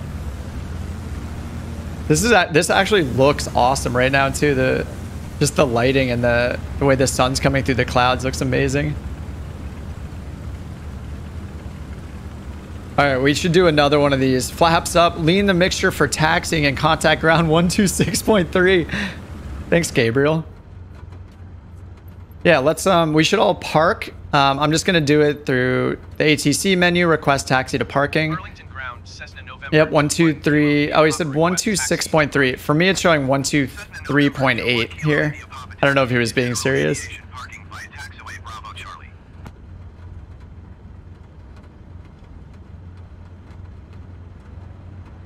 And then acknowledge the taxi clearance.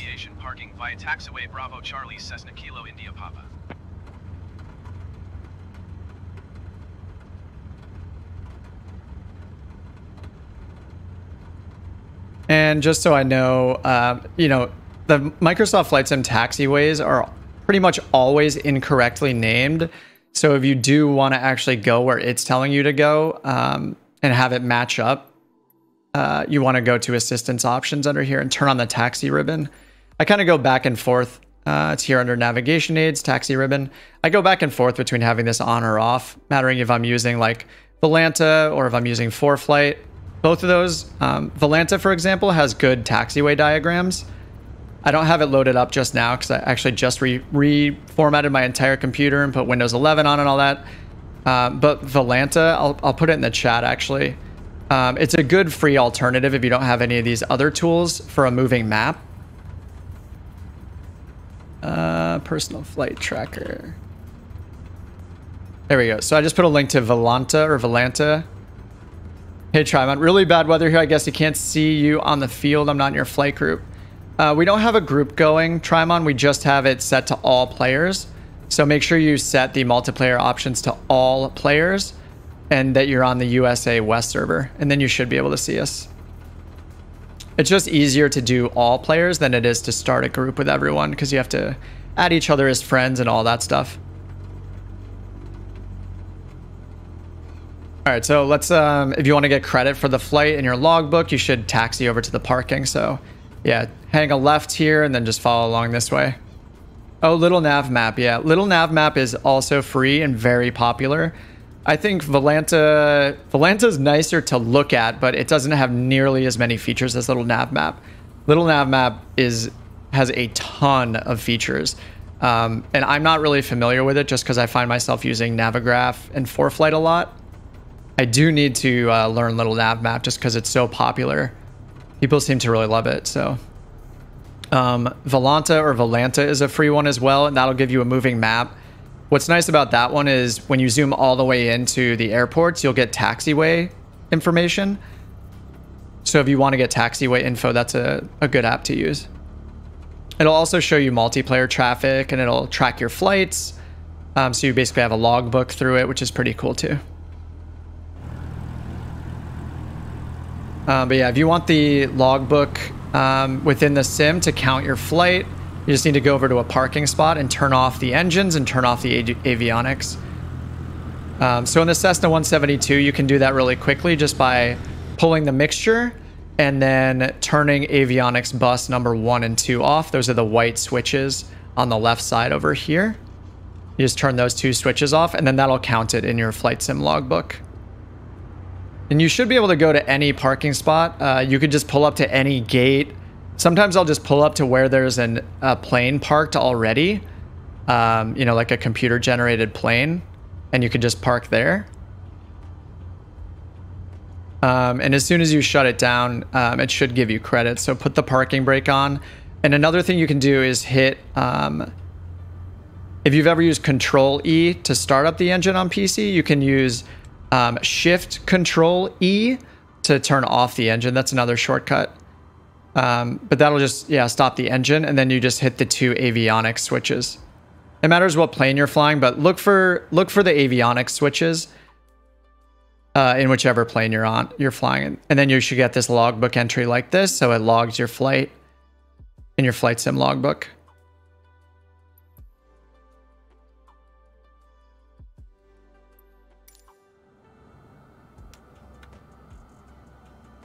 Then I'm going to hit Control E again and then start up the plane.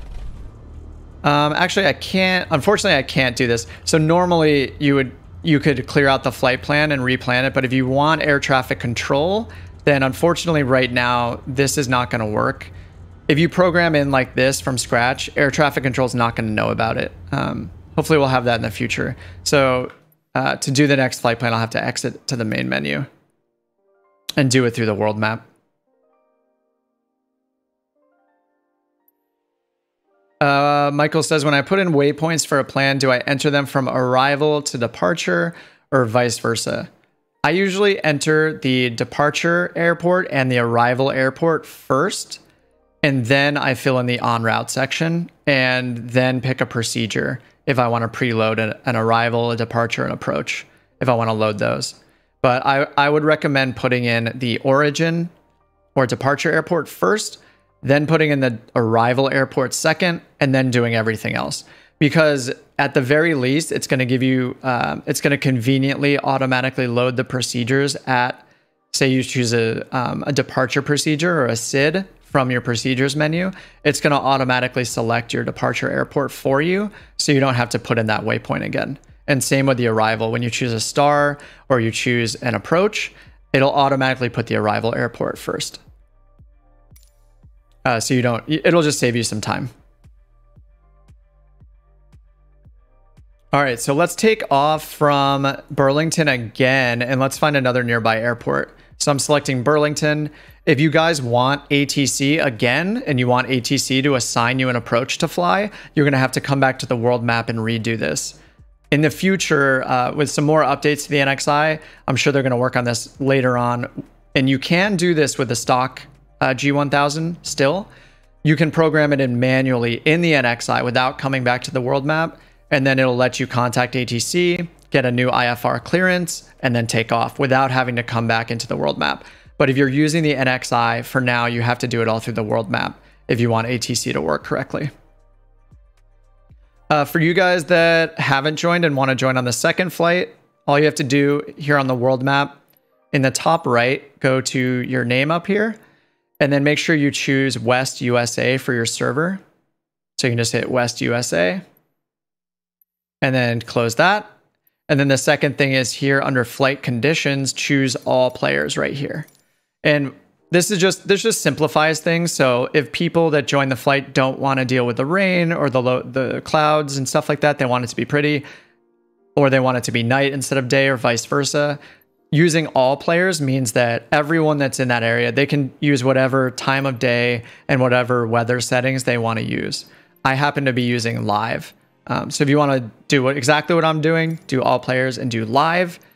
And if you want to customize do all players and then you can choose preset or custom and change the weather as you wish.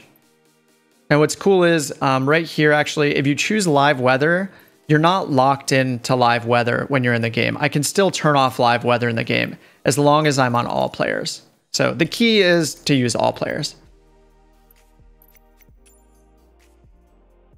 Hey, Jacques. Awesome. Thanks for joining. Yeah, let's do one more. Um, if you guys want to join for the second one, love to fly along again. We can do another crazy approach. So I'm going to take a look. I do have ForeFlight up on my iPad right now on the side. So I'm going to find something nearby. It looks like a lot of the weather nearby is uh, IFR right now. Let's see here to the west. Adirondack. Adirondack, am I saying that right? Saranac Lake in New York to the west, KSLK. This says it's IFR with 1,200 feet overcast, broken at 800 feet. That sounds good. KSLK.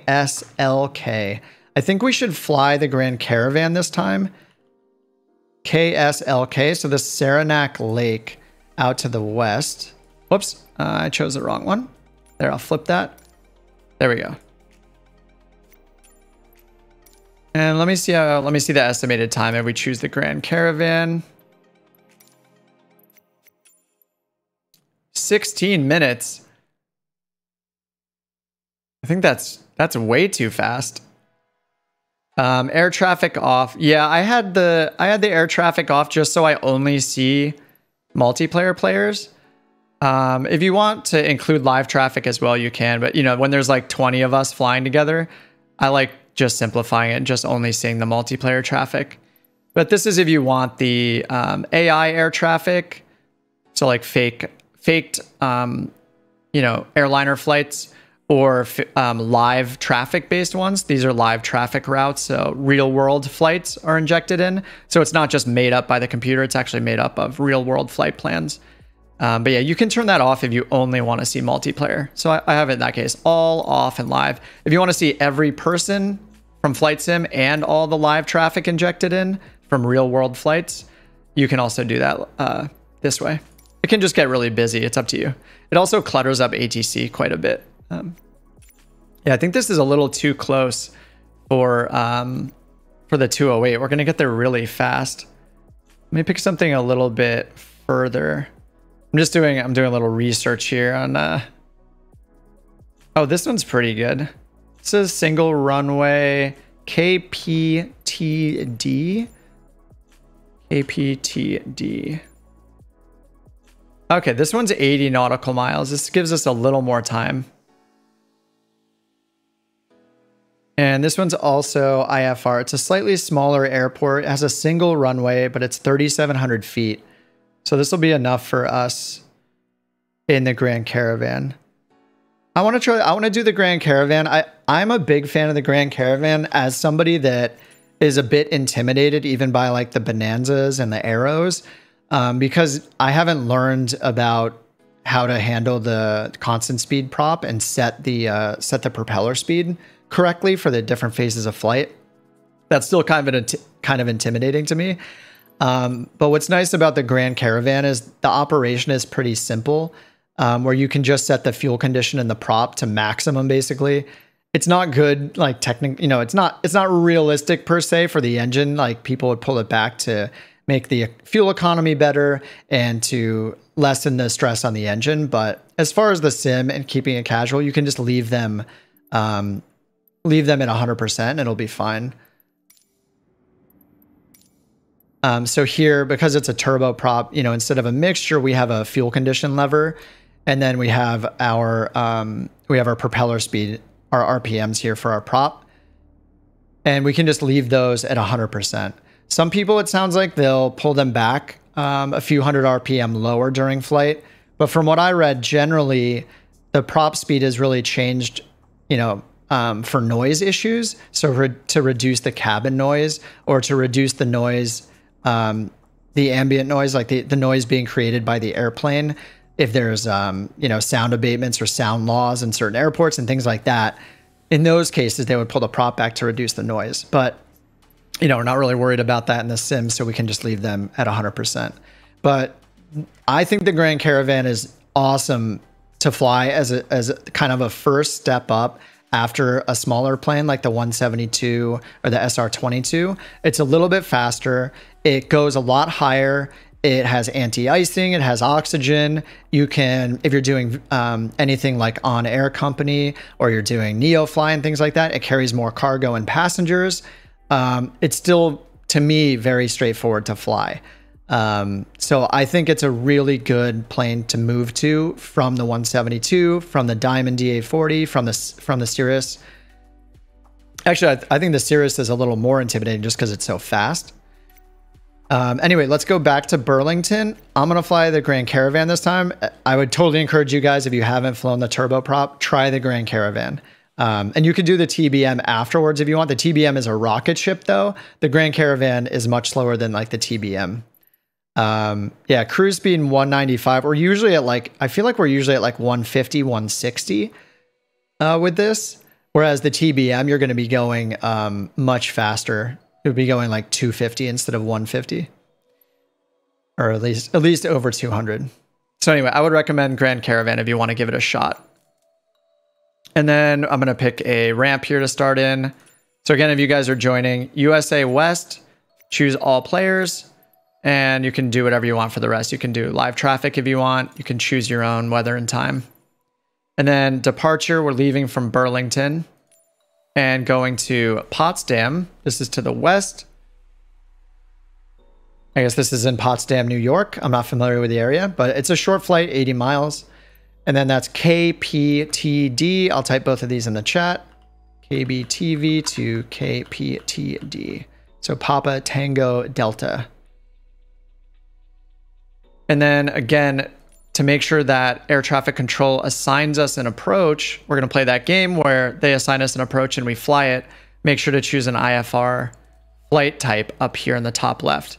Um, we could do high altitude in the Caravan. It's such a short flight that we're not going to even climb that high. So again, I'm going to choose low altitude airways. Uh, what's the ceiling? 25? Yeah, 25,000 is the ceiling for the Grand Caravan. So you can get into the flight levels.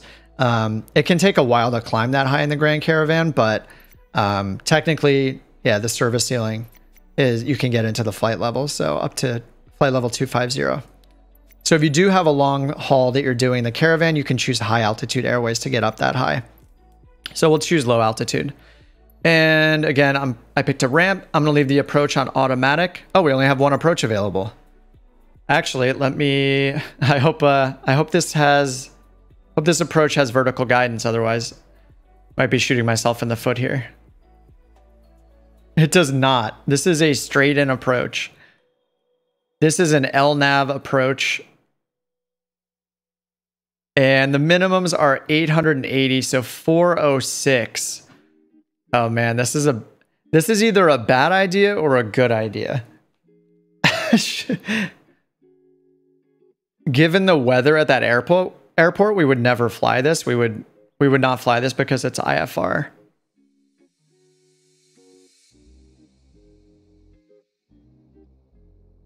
I think we might need to go east. Sorry to change it up. I think we might need to go east to get, yeah, we need to divert, I think. I think we need one that has, we, we need some procedures with better minimums. Otherwise, we're not going to get down. Uh, that's an LNAV as well. I'm just looking at my iPad right now. Two airports to the west. Oh, these guys over here? Yeah, let's check. Okay, I can check these. Oh, is this one up in Canada, it looks like? What's this? KGTB?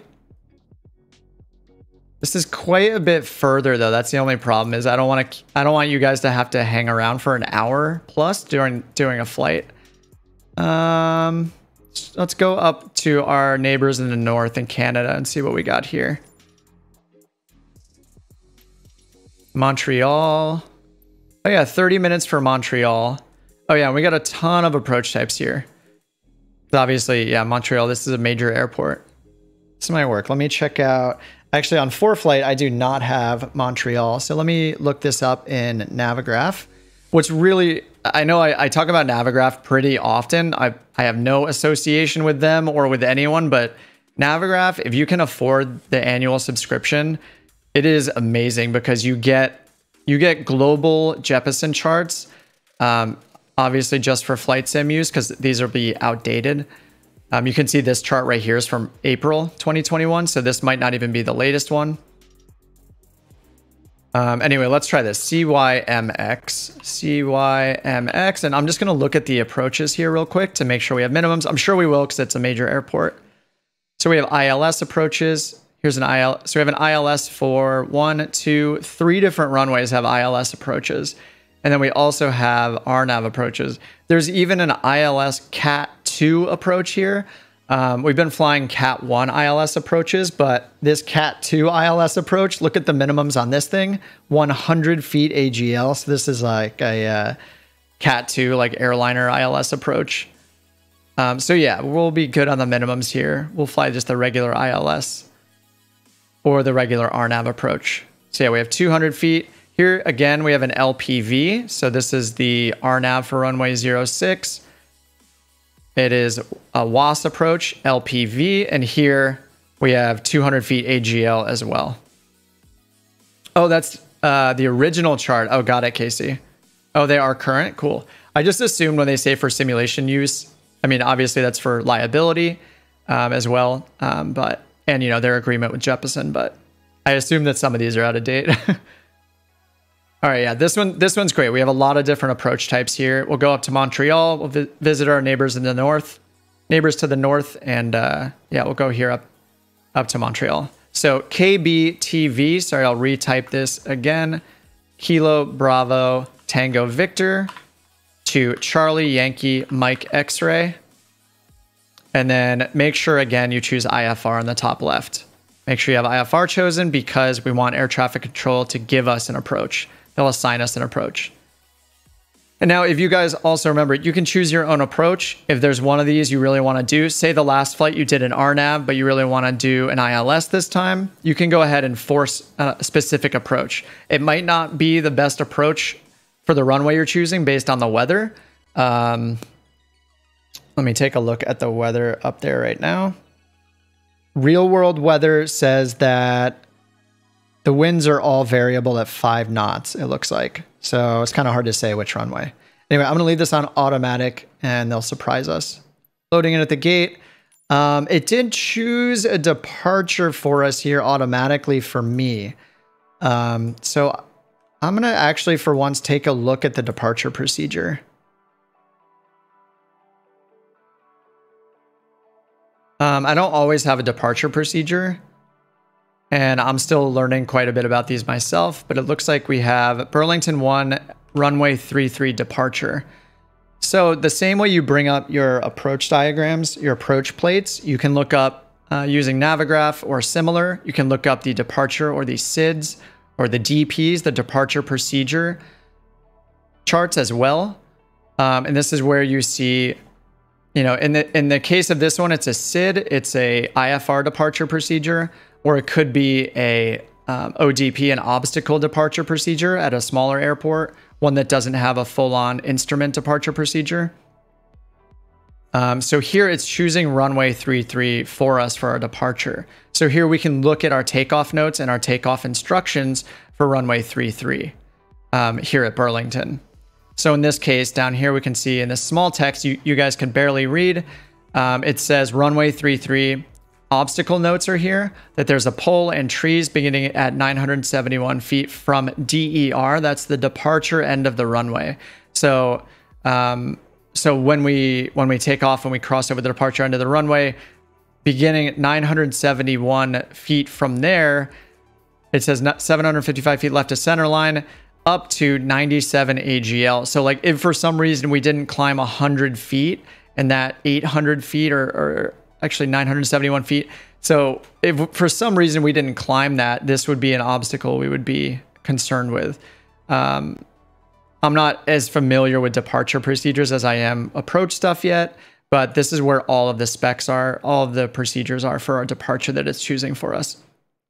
And then at the bottom, it shows um, our ground speed and our required rate of climb per nautical mile. So this is giving us performance information based on our aircraft. So we have to be able to meet certain standards for climbing at a certain rate in order to be able to actually execute the departure procedure. If we weren't able to climb at these rates in this little table, I know you guys can barely see the table. Um, I can't zoom in anymore, um, but it's showing us performance information here. And then at the bottom, it just says initial climb, climb on assigned heading for radar vectors to the filed nav aid so this is stuff that we won't have vectors from air traffic control necessarily. Um, they'll just tell us an altitude. So we're just going to climb on our assigned heading and then we'll follow the procedure that's programmed into the NXi. um, to the to the filed nav aid. So it'll have one in for us. And where is the nav aid for runway 33? Standard or lower, minimum climb of 340 uh, feet per nautical mile.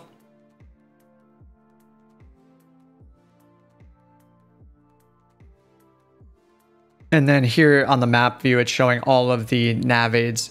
So it, it's just saying to assign heading to the filed nav aid. So that would be the navigation aid that's part of our flight plan then to the to the filed nav aid. So anyway, we just climb on our assigned heading and within the sim air traffic control, they're going to give us when they give us our clearance, they'll give us our climb and maintain altitude. VFR Aviation says suggest a straight out departure of 3-3. So that's what it looks like it's assigned me here automatically. So if you guys are already loaded in and yeah, you're confirming that's good. That's what it's choosing here is runway 3-3. All right, I'm finally going to load in. Um, BTV sends you south first. Yeah, so here it just says standard minimum climb rate 340 per nautical mile to 5,900 feet. So runway 33, we climb runway heading to 5,900 feet. Whoa, it's so dark. All right, I might... Do we fly in the dark? Maybe we should fly in the dark. Sometimes it's fun. Uh, I mean, you want to get... You want to do IFR. I mean, we'll do it in the dark and in the clouds. All right, using the checklist here. Um, if you guys are in the Grand Caravan and you have the checklist, the startup procedure is really fast. Um, these are very small checklists compared to the 172. So you just need to put the fuel selector on. If you are in the darkness like this, you can't see anything at all. You can always just press L on your keyboard. Why is it not working for me? Oh, the battery's not on. Wait, that's weird. It should turn on a flashlight. Um, you can press L to turn all the lights on. If you if all the lights are off and the battery's off, hit Alt L. So the left Alt key and L will turn on a flashlight. And so that's how you can look around for the fuel selectors, which are up here. And then the battery light, which is down here on the bottom left, you have your battery. So once you turn on the battery and the fuel selectors, you can just hit L to turn on all the interior lights. It'll just toggle all of them on and off. And then if you guys are new to the Grand Caravan, when you're on the ground, you can put these two to low idle and to like the middle position. So turn the RPMs lower um, for taxiing and stuff. Otherwise, oh, it looks like, oh, right. They, they kind of broke this. Fuel condition lever does not work with the mixture. So you actually have to, you can see this as a switch. It's, it's basically acting like a switch instead of a lever. So when I'm pointing at it, I use my mouse to move it from low idle to high idle. And so when we're taxiing, we can set it to low idle. Um, anyway, yeah, I forgot the mixture doesn't work correctly in the Grand Caravan. Um, another thing you can do is if you don't want to run through the checklist and you're on PC, you can hit Control E and that will do a startup for the engine. Uh, Dale's asking, how do I set the altitude? We'll do that in just a second with the autopilot. First thing we're going to do is contact clearance. So because we started from the world map and we chose an IFR flight plan, ATC, uh, it's going to let us request that clearance with ATC. So up here, go to ATC, and then we go to clearance. We have a clearance delivery frequency here, and then we click request IFR clearance and they'll give us our climb to altitude, probably 5900 if it follows the departure procedure. Over here is our altitude selection knob. All right, runway 33, climb and maintain 8,000 feet. And then it'll remember our departure frequency and it'll automatically change our transponder. So we just read this back. Cessna November 2 1 Kilo India Papa cleared to Mirabel Airport as filed. Takeoff runway. Okay, so they said to climb and maintain 8,000 feet. If you're on PC, uh, the command, the shortcut Control 2 is very useful. This will zoom in to show you most of the autopilot up here. And you can also see enough over here on the left to turn it, to dial in your altitude and stuff. So I like to hit Control 2 for this instrument view. And now we have our altitude selection right here. So we're gonna, I'm gonna roll my mouse wheel and you can see that in view over here on the PFD is our selected altitude. So we're gonna keep rolling that to 8,000 because that's the instruction they gave us is to climb and maintain 8,000.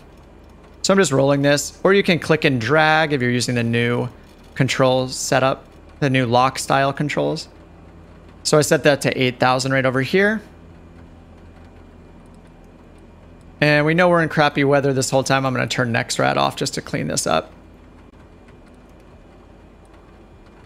And it looks like our first waypoint as part of the departure procedure is actually taking us really far south here to the Albany VOR, it looks like, for Albany. I said Albany, Albany. So that's turning us quite, uh, taking us 108 nautical miles to the south. Uh, we're not going to fly that whole thing. Um, I'm going to leave that programmed in, but let's just all get off the ground. And then once we're uh, in our climb, we're just going to make a right-hand turn and we're going to head directly over to this YJN, Yankee Juliet November waypoint. We're going to just make a right-hand turn to save time. We're not going to do this. This is a 100 miles out of the way. Uh, yeah, we're not going to do that. So I don't know why it chose this departure procedure for us. Um, yeah, so we're going to... You could delete it right now. You could go into procedures. Uh, or sorry, is it under menu? Under menu and remove departure down here. That's one way to get rid of the departure procedure. So to do that, you open flight plan. You turn on the cursor by pushing FMS. So it should be flashing. Then you hit menu. And this is where you can remove the departure procedure. We're going to leave that. I'm going to leave that alone just because I also want to show you guys once we take off how to just, we'll turn manually and then we'll go direct to, we'll just activate this waypoint next. Um, so just so I can show that in the NXi, I'll leave this departure procedure in. You can take it out if you want to, but we're going to take off and uh, we'll just make a right-hand turn using autopilot with heading mode. All right, let's so continue. Let's continue to set up the autopilot. So over here we have our speeds. We have our V speeds. Right here is our rotation speed. So if you haven't flown the Grand Caravan before, rotation speed's at 70. And then here our best rate of climb is 95. So we're to put those in. I'm to hit control 2 again to go to this view. And I'm to hit, uh, we have our altitude in at 8,000 already. Now I'm to hit flight level change for the climb. And you can see again, conveniently on the left side, we can see this FLC right over here in green text. This is still visible. Uh, this is not by accident that you can still see this when you are in this camera preset. So FLC, we want to turn that using this vertical knob right here. See where it says down, up. This vertical knob is for our pitch and for flight level change and for vertical speed modes. So all we do is roll that to the down position. You actually roll the wheel to the to up, kind of like you're pushing this stick up or pushing the yoke in. So that would pitch the nose down. You can see it says down there. That would increase our speed. So as a result, flight level change, the knots over here is going up. So we're going to turn that all the way up to 95. I'm just using my mouse wheel while I'm pointing at it. There's 65, 70, 75. I'm just keeping it, looking at the corner of my screen over here where it says 95. So now we have 95 in here for our flight level change. All right, so we're set up there. I'm also going to change to heading mode. And we know we're taking off from runway 33, so I'm just going to use the heading bug to change that to 330. It'll be a little bit off. Once we line up on the runway, we'll sync it to our direct heading, so it's a little more precise. But as an estimate, we can put in, you just put a zero on the end of the runway number. That gives you the rough magnetic heading of the runway. So 33 is 330. All right, and I'm going to turn off some of these lights here. We have our landing lights on. I don't need those right now. Turn the cabin lights off. Wing light can go off. And it looks like we have our pitot heat is on, which is fine. It's going to get cold once we take off, once we get higher up. Um, and then all these lights that are on, there are all of these uh, knobs down here. Here are the floodlights. Whoops. That's the inertial separator, but we just leave that in. If I can click here. Oh my god. Alright, I can do it. I can't do it. All right, there we go. Control 4. That looks like a better one. I'm going to turn these floodlights off. And then here we have avionics and standby instruments. So there's standby instruments. The third one, here all these lights on the side for our switches. All right, there we go. So if you want to mess with these with all the lighting, you can do that. Um, control 4, that's a good hotkey to get down to these. Now that I'm done with that, what I'm going to do is turn off my flashlight. So I do that with left Alt and L. So that toggles your flashlight. Alt L. L for light. All right, there we go. And um, the brightness on these, they're actually controlled in two ways. The, the G1000 NXi has its own brightness settings under the menu. Um, so if you go over here under the menu, there are brightness settings on the left display, the PFD. But also this avionics knob down here also controls it. So this is a quicker way to do it. So you can uh, adjust that to your liking to match the uh, outside lights, however you like to do it. All right, that's a lot of talking. So now we need to get the weather. So let's tune into the ATIS. So I'm just going to go to ATC, tune into the Burlington ATIS. This is how we get the cloud information. We get our altimeter.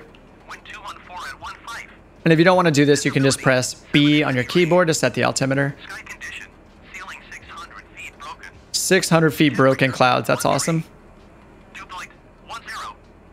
2947.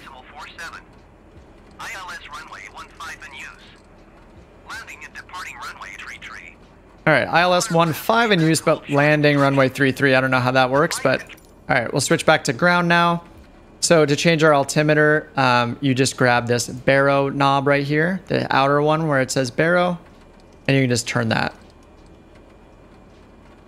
And then I hit B just to make sure I didn't forget. 2947 is the altimeter. And you can just hit B as a shortcut if you don't want to do all that manually. All right, so now let's get our taxi instructions. So once again on ATC, request taxi for our IFR departure.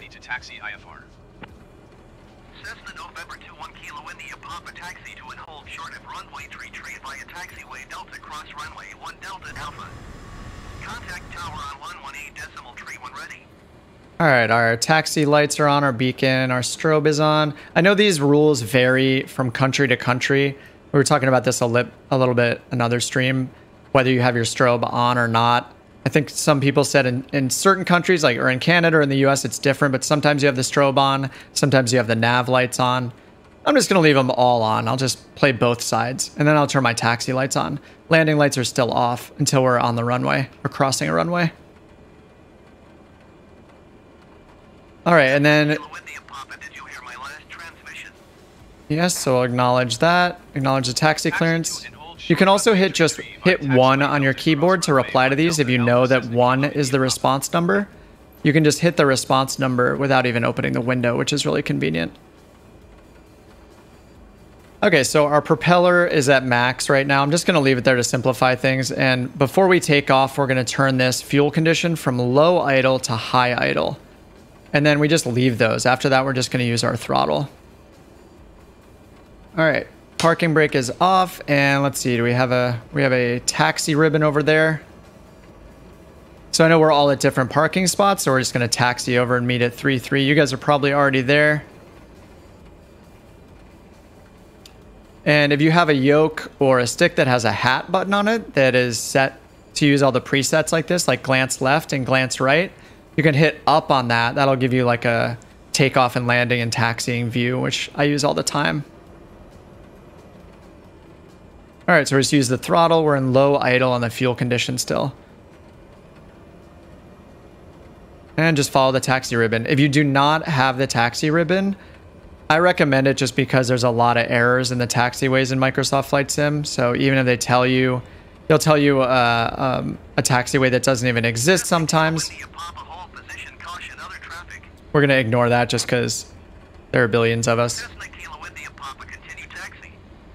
and because it just does that sometimes. Um, but you can turn on the taxi ribbon by going to the assistance options.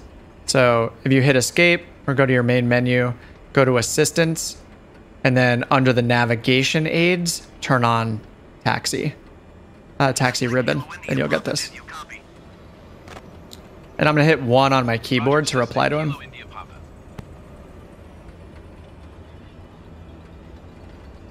All right, so for this one, we're gonna take off, and then we're gonna once we're up a little bit, we're gonna make a right-hand turn to head north up to Montreal. We're not gonna fly this departure procedure because we don't need to triple the length of this flight for no reason. Um, I think in general, like I don't really use departure procedures much because I'm not flying long haul flights um, or flights that are in the flight levels. So if you do fly airliners, you're going to run into using departure procedures and using um, at least the SIDs, the instrument departure procedures, and the STARS, which are the arrivals. You're going to end up using those pretty often um, if you're flying much longer distances. But because I fly a lot of the small planes, I don't even fly a long enough distance to use those because, as you can see in this case, this departure procedure puts us 100 miles south of the airport when we're going north. It makes it made no sense to choose this one, and in general, you don't have you don't use these SIDs because they're so far off your course that it just doesn't make sense. We would just fly a direct route mostly.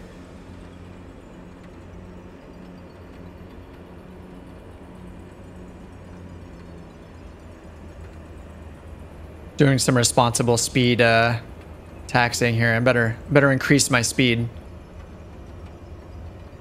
Break some rules and you guys have been waiting forever. Sorry about that. I know you guys are super patient for just chilling out over here while I'm just talking for 15 minutes. So thanks for thanks for hanging out and waiting. I appreciate it. Weedman 077. All right, you got your 208. Looks like everybody here's in 208s. Cerebral Pear and Subdued Rat in their 208s. I love all the liveries on the 208 too. Oh, Hound Dog says anytime you have visible moisture, turn on pitot heat. I have mine on. Actually, my switch does work. I've uh, been adding more switches, using more switches on my Bravo. Pitot heat is a must-have. Um, electric fuel pump is a must-have. Parking brake is a must-have, I think. It's a good rule to know. Thanks, Hound Dog.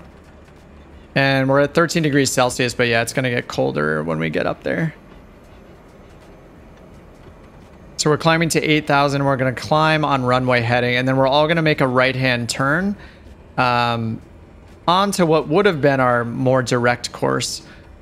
We're basically going to go direct to our second waypoint once we get up.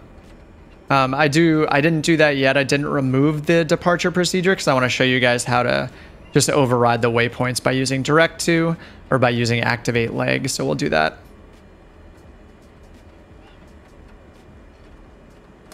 Two oh eight train. Oh yeah, there's a there's a good six or eight of us. It looks like. And there's a few you guys already took off. I see Trimon's out there already with the SR22. Aviator SoCal is up there in his caravan. He just took off. I see Endgame also.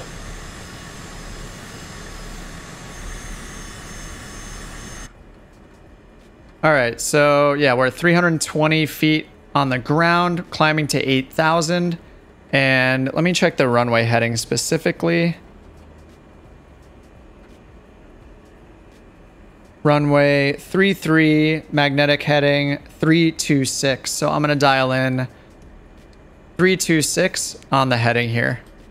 And then what we're going to do is change our fuel condition lever here to high idle. So you just click and drag it up there. It acts more like a switch than a lever since the last update. Uh, so we're going to turn this to high idle. And then flaps, I'm going to put into the center position, which is the takeoff position. There's a flap lever right here. It's only got three positions. We have retracted, takeoff, and then landing. So I have it in the center position for takeoff.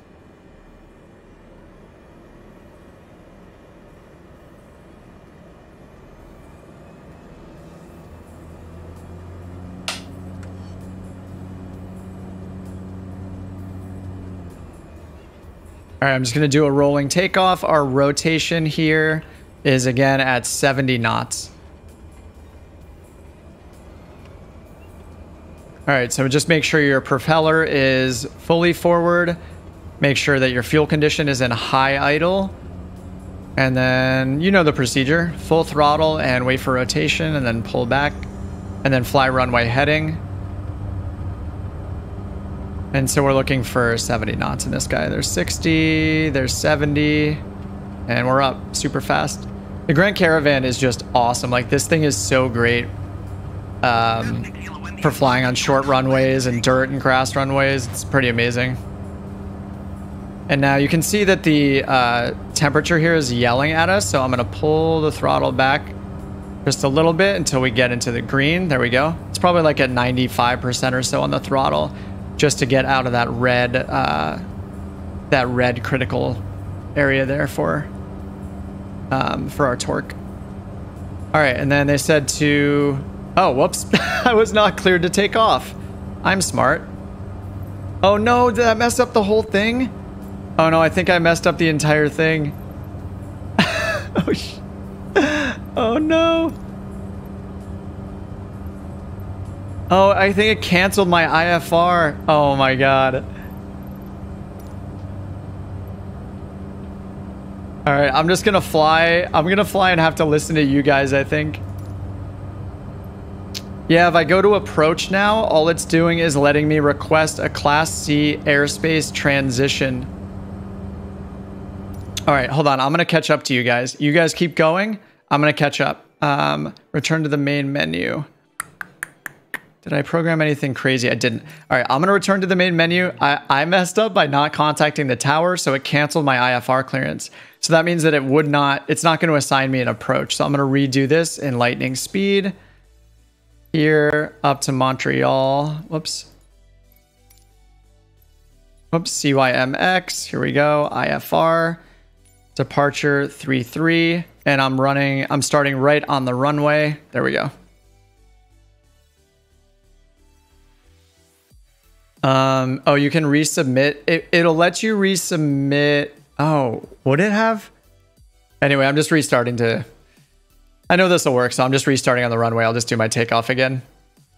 Redo IFR after you request flight following. Oh, no. All right, I messed up. After you request flight following, it works. Well, you guys are teaching me about ATC. I guess I didn't I didn't know that. I'm going to set this up as fast as possible. Climb and maintain 8,000. 8,000 runway heading sync, heading mode, flight level change. Feel like I'm uh, doing a speed run right now. Flight level change, 95 knots, good. Pitot heat is on, pump is on, parking brake is off, applying brakes. Fuel condition in high idle. All right, on my way. Here we go. All right, so we're looking for 95 knots. Yeah, I forgot to uh, contact the tower. I'm also, you know, I'm also quite a bit more distracted trying to explain every everything, verbalize everything I'm thinking, um, read the chat, respond to the chat. Yes, Hound Dog, it's true. In an ideal world, uh, I think I wouldn't be talking to chat while if I'm trying to take this very seriously, but it is a simulator and uh, it's as serious as you want to take it. So clearance, uh, it automatically gives you the clearance uh, when you when you go in on the runway. So we're good here. All right, I'm catching up to you guys. Pulling my throttle back a little bit. All right, acknowledge handoff to Boston Center. All right, and I'm gonna hit my autopilot on and flaps up. Now that we're at a safe altitude, go to Boston Center and contact them.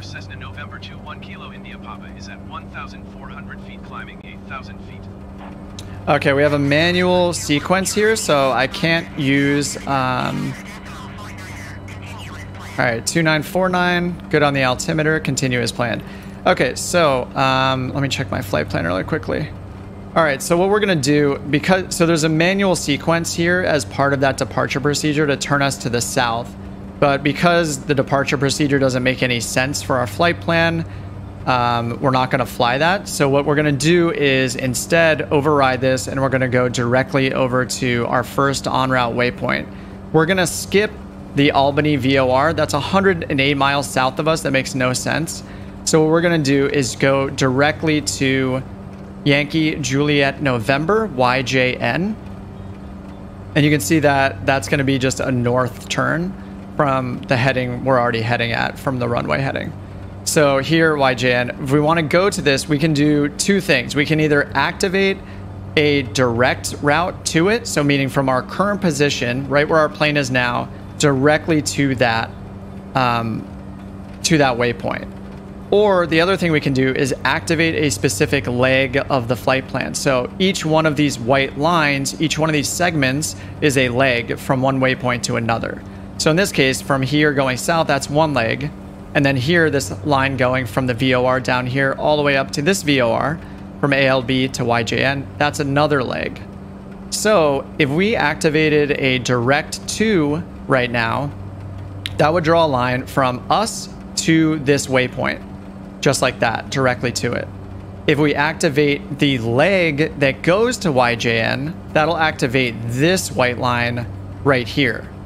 So just for this exercise, I'm going to do that. So we're not going to go all the way south here. That'll take forever. I'm instead going to activate this leg of the flight plan. So we're still going to be on the original route. We're just going to skip across to this white line, basically. So to do that, we activate YJN. So what I'm going to do is turn on the cursor. So you click the FMS knob and then move down to YJN.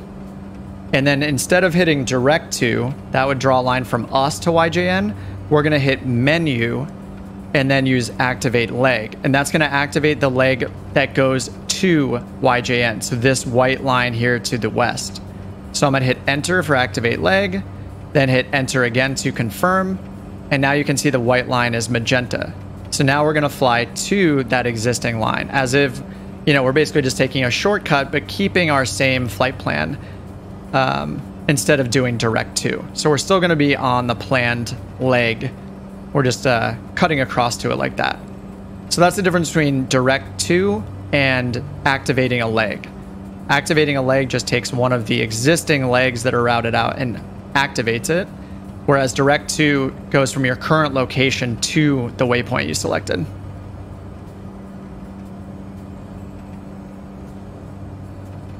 That's good to know. Thanks, thanks, Josh, for letting me know about that because I didn't know that you could retry IFR after requesting flight following.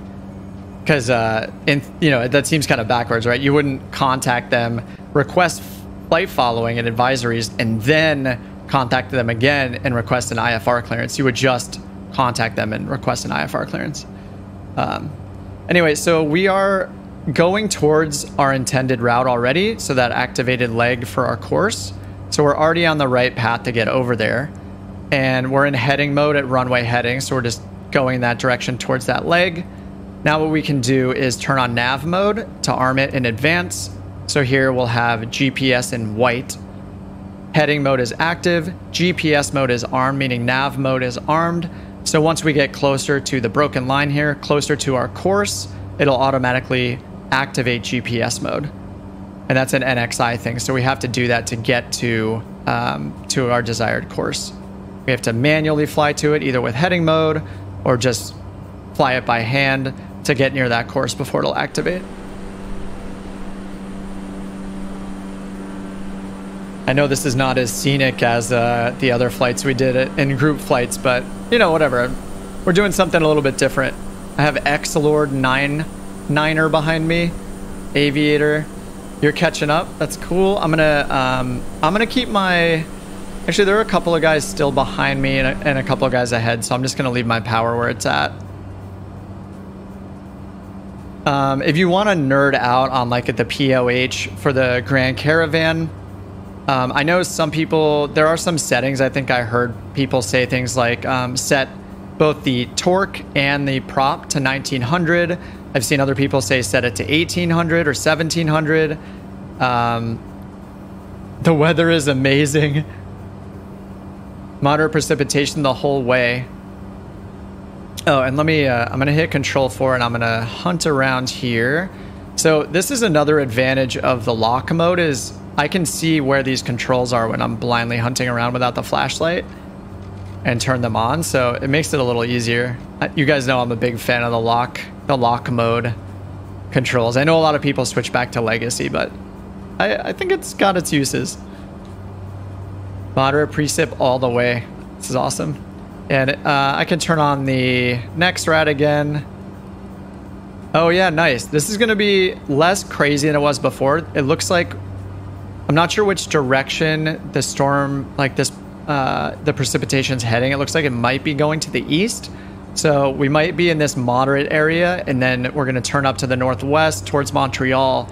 We may dodge this severe cloud a bit. You know, realistically, we would dodge it intentionally.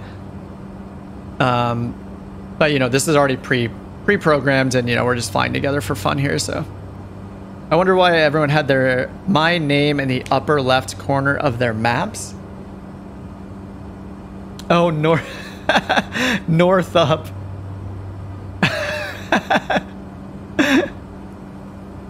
you can uh, you can remove your name from the upper left of the map, David, if you want. you can go to the menu setting here, and instead of choosing your last name, you can choose Trackup instead of Northup. There you go. Now you can you can switch to a different last name if you want. Uh, yeah, if you want track up, you can do that. That's funny.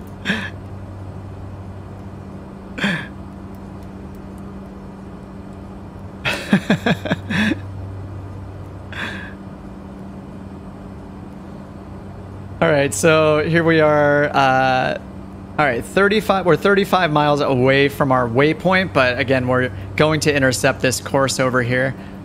So yeah, just keep, I'm just staying on that runway heading of 325. Heading up, yeah, heading up, track up, north up. And then yeah, it looks like that the, the severe area here, this area of the cell is moving to the east. So it looks like we'll we'll be in moderate to mild precip once we get closer to the airport. Strange that you could see me as I can't see anybody or you. Uh, sorry, Trimon, I'm just reading this now. Maybe related to the active live traffic. Could be. Yeah, I, I'm seeing a bunch of people. I see, who do we see? MJDYSO. I see Floushy. Whatever, 815. I see you, Trimon, in front of me in the SR22. And then there's a bunch of people behind.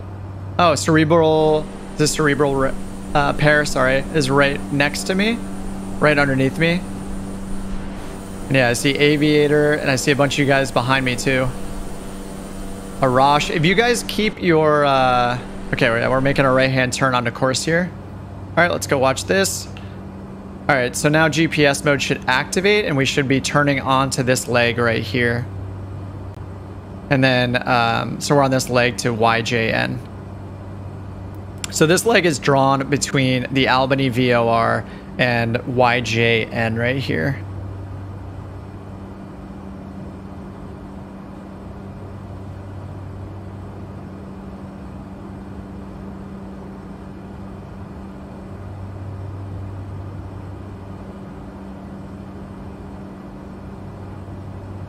I'm just looking up some of the weather at Montreal right now. So the weather, oh, it says VFR now.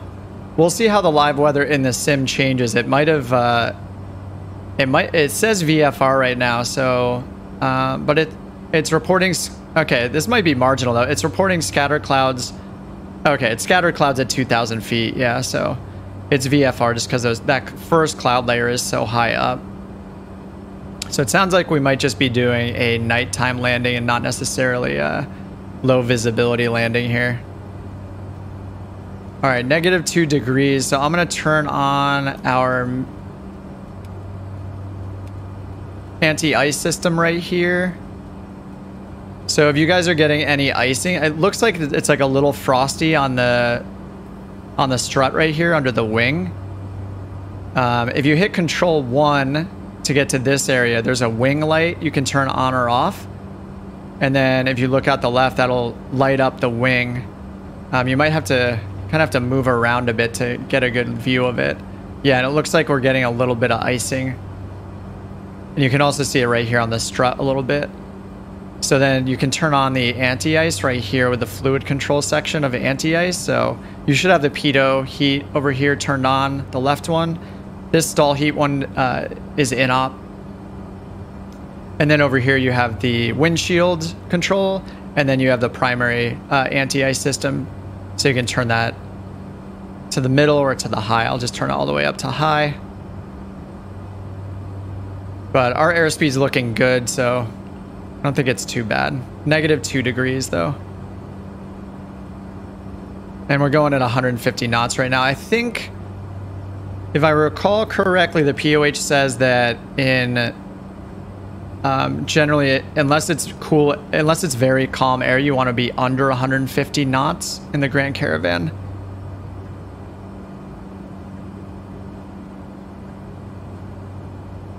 All right, so we are only 24 miles from YJN, and then we're going to make our left-hand turn towards Montreal.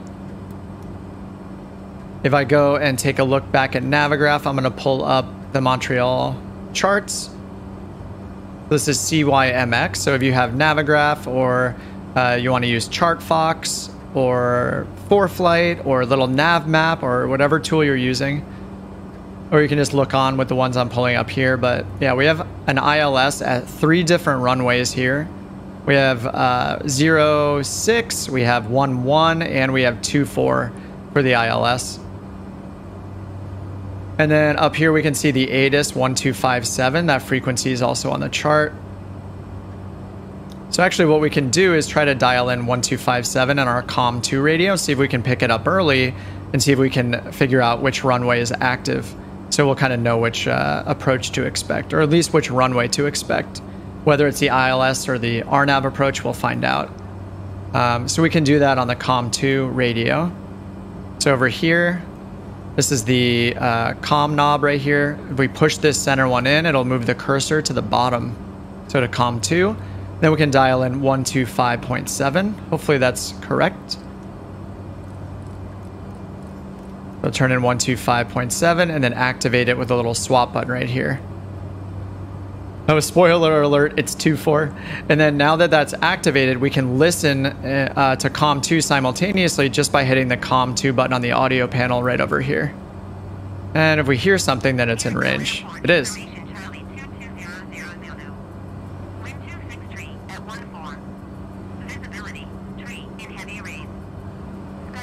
So it said 263 at 1.4.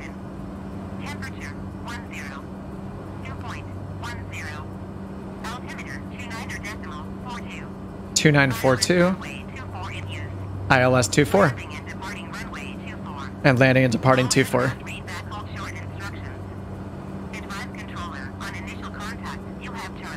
All right, so we have information Charlie, so I can just leave it tuned into that ATIS and just turn COM2 off just by, by muting COM2 right here. So we're just not listening to it. Um, earlier in the week, somebody on one of the YouTube videos asked about why why would you use COM2? Like, what's it for? Um, you know, besides redundancy, this is one use case. Is you know how I look at it is I like to use COM1 for my two-way communication. So uh, realistically, I would have the standby set up to my next frequency already. So in this case, it would be the next. It would be either like an approach controller or it would be the tower, and I'd have that in my standby, and that I would use COM1 for my one-way or two-way communication. All right, so they have us turning to Montreal Center. So we're going to acknowledge. And you know, it's doing that automatically for us when we acknowledge them here. So I can hit Tune Montreal Center, but if you want to take it more seriously and you're not using VATSIM, you could just not use the ATC window. You could take that mental note or write it down when it comes up when there are instructions. And then in this case, you would go and manually change to 132.85. So here you could dial that in. And then you could swap it right here.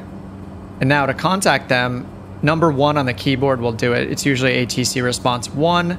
As you can see, if I open it, it's ATC response number one. So even without opening it, once I tune in and I swap it, I can just hit one on my keyboard and we're contacting them. Give them our altitude. They'll give us an altimeter probably.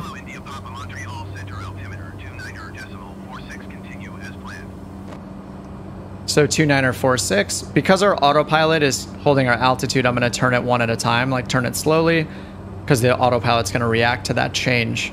Since changing the altimeter setting changes our altimeter, what altitude we're at. So it sounds like, yeah, ILS 24 is what's active. So what we could do already, because we're expecting ILS 24, I can go to the procedure menu and load that without activating it. So, and this is something we could do at our departure airport. If we looked up the weather, got the ATIS, or got the active runway in some way for our arrival airport, we could either guess based off the winds if we just had a METAR for the airport. So in this case, the winds were like, I think it said 260 at 12 or I don't know what it was, something like that. The real world METAR right now shows 250 at 5.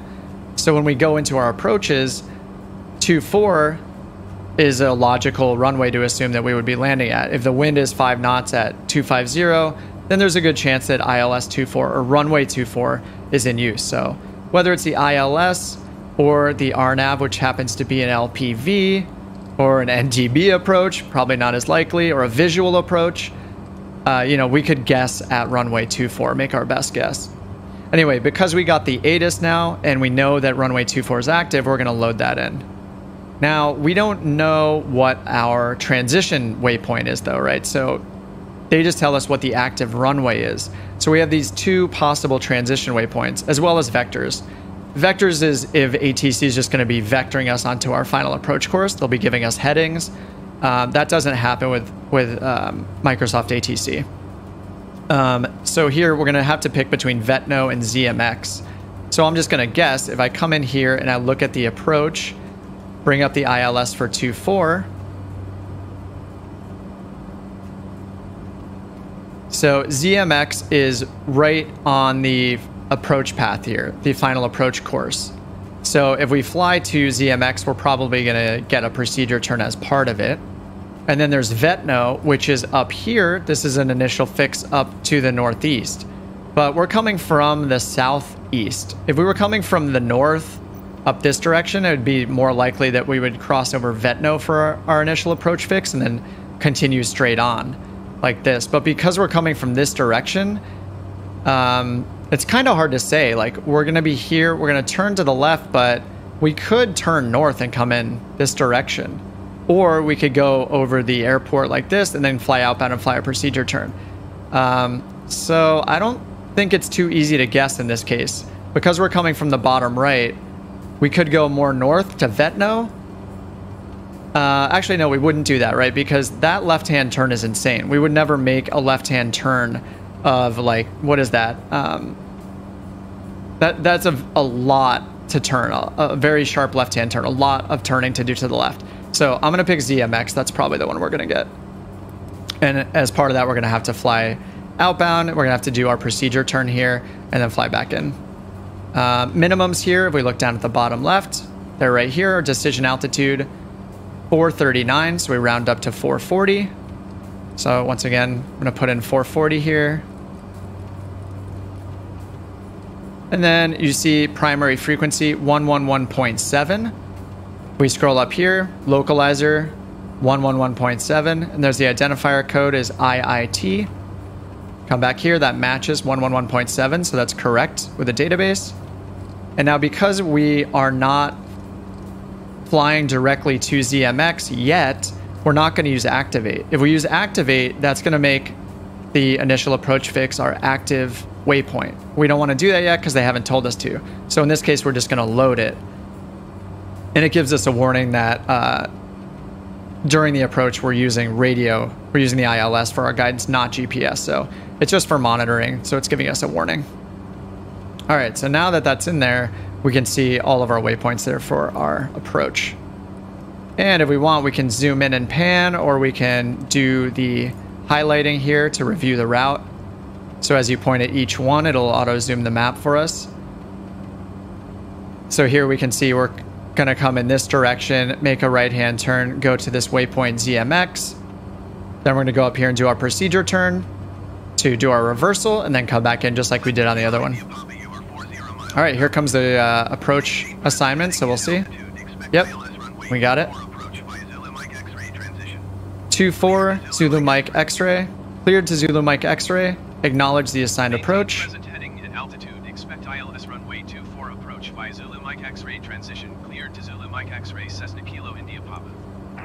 Okay, and now they cleared us to go direct cleared us to Zulu Mike X-ray. So right now our active waypoint is not Zulu Mike X-ray, it is the airport itself. So remember, I didn't activate it before, so I, hacked, I have to activate it now. And so I can do that just by going here and highlighting this. Or what I can do is go up to procedure and activate the approach.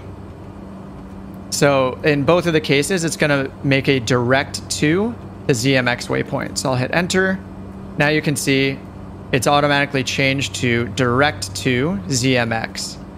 So there's this, you can do the same thing in multiple ways. We could do direct to by highlighting it and hitting the direct to button down here, or we could use activate approach, which does the same thing. And that activate approach here is the same thing we saw when we were selecting the approach. So where we had the choice between load or activate, if we chose activate, it would have also done this. It makes your initial approach fix the active waypoint. And because we had autopilot turned on, it's already turned us towards ZMX and it's flying a direct route to ZMX from our current location. All right, hopefully everybody made that turn. Looks like everybody's still on it. Sweet, I see your lights. X-Lord and uh, Subdued Rat are right close to me. I can see their lights. Oh, I see Aviator's lights too. Looks like uh, Subdued Rat is teleporting a little bit to us. Yeah, if you guys do want to catch up, if you are a little bit behind, you can use the sim acceleration. Um, you can bind those hotkeys called sim rate increase and sim rate decrease and use those hotkeys to, to uh, warp speed to catch up. All right, so now let's review our altitude. So if we look here again in our flight plan, we have 3,000 feet. Remember, we're all the way up at 8,000 feet. We've been holding that since our takeoff. That was our initial instruction. So we need to get down to 3,000 feet for the initial approach fix. And then here, the procedure turn, we're maintaining 3,000 feet. After the procedure turn, we need to go down to 1590. So for our final altitude for VNAV, it's going to be 1590. So I'm going to set our selected altitude down to below that. So I'll hit Control 2 for this view. You can see 8,000 over here in blue. And we're going to turn that all the way down to be below 1590. So we can't do 1590, but we can do 1500. So we just want to make sure it's below so it can take us down and hold 1590 specifically. Um, and what we have here is our top of descent. And down here on the flight plan, you can see it's six minutes to the top of descent. So it's going to descend our flight path angle right here, standard of three degree flight path um, angle for the descent. That gives us a target of 774 feet per minute. And then right here, uh, ZMX, that's our the waypoint we're headed to. So that means in six minutes, VNAV will bring us down to 3000. But remember, we have to arm VNAV, so control 2 again. Remember, we're in altitude hold mode right now. Over here, you can just see altitude 8,000 feet. It won't do anything other than keep us there until we tell it, so. Up here, I'm going to click the VNAV button. You can see it right here, VNAV. Push that, see the light turn on. Remember, you have to change selected altitude first. If it doesn't turn on, it's because you have to dial in your target altitude first. In our case, it's letting it go all the way down to the final approach fix altitude. Um, so now that we've hit VNAV, you see VPath here is armed, which means it's on standby. So VPath right here, it's waiting for us to get to our top of descent.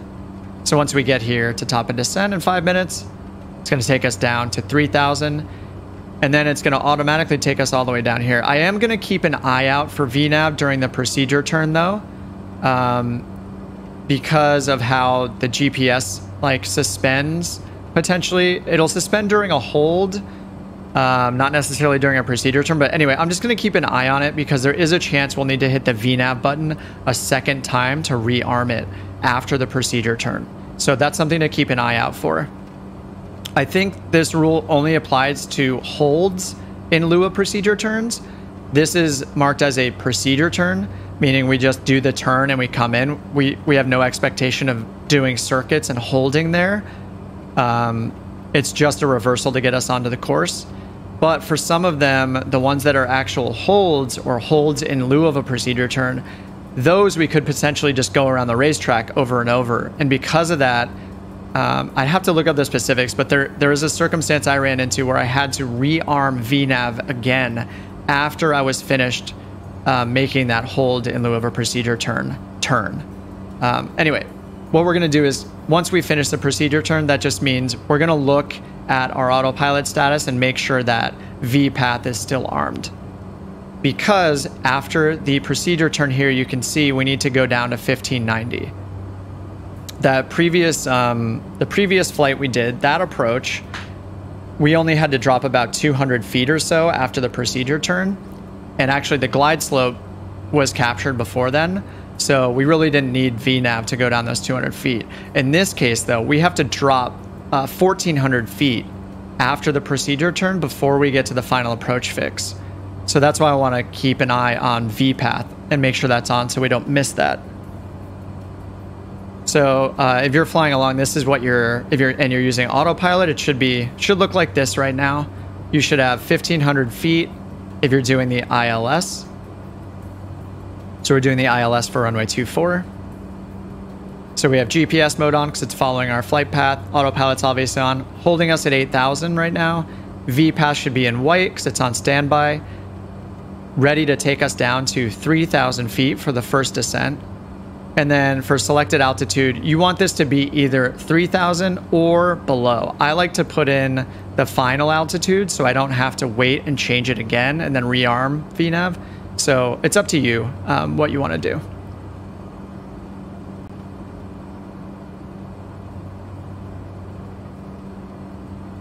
And yeah, if you're if you're using something like um, if you're if you're like a VATSIM person, like ATC, when they give you the instructions, and you know even in Microsoft, they give us the instructions to descend. They'll say descend and maintain this altitude, you know, and they expect you to start your descent right away. Um, but in this case, because we can't manually um, start our VNAV descent or anything like that, we have to wait for the top of descent. There's no way to edit our altitudes here or uh, start our descent early with VNAV. I'm just going to wait, even if they tell us to descend. Uh, realistically, we would listen and start our descent, but what I'm going to do is wait for this so we can take advantage of VNAV. Um, Mechine says, probably in real life you would get vectors to catch the localizer directly at ZMX. That's that's my understanding. Yeah, I I also don't fly. You guys know I don't fly in real life. I also don't fly on VATSIM very much or at all. I, I flew PilotEdge last year.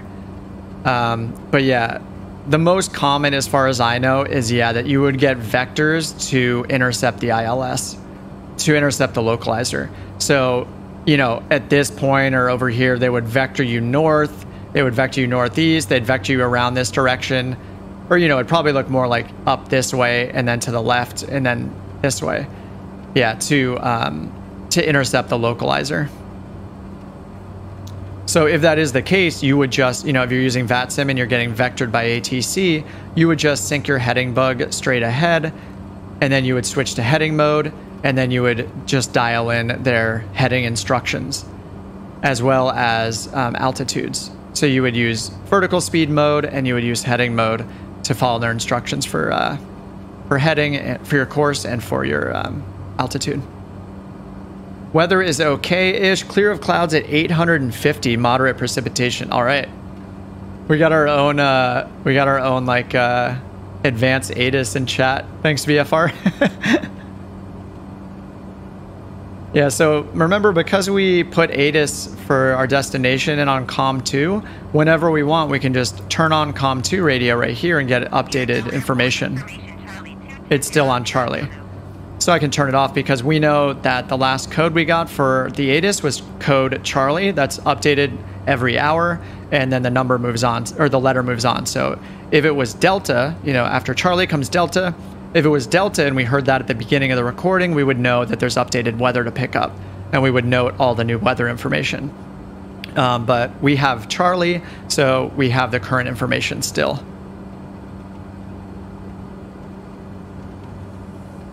And looks like we do still have crazy winds here. You can just see how much more stable the Caravan is, though, uh, than flying the 172. This thing is uh, handling the winds no problem. We were just getting tossed around like crazy in the 172.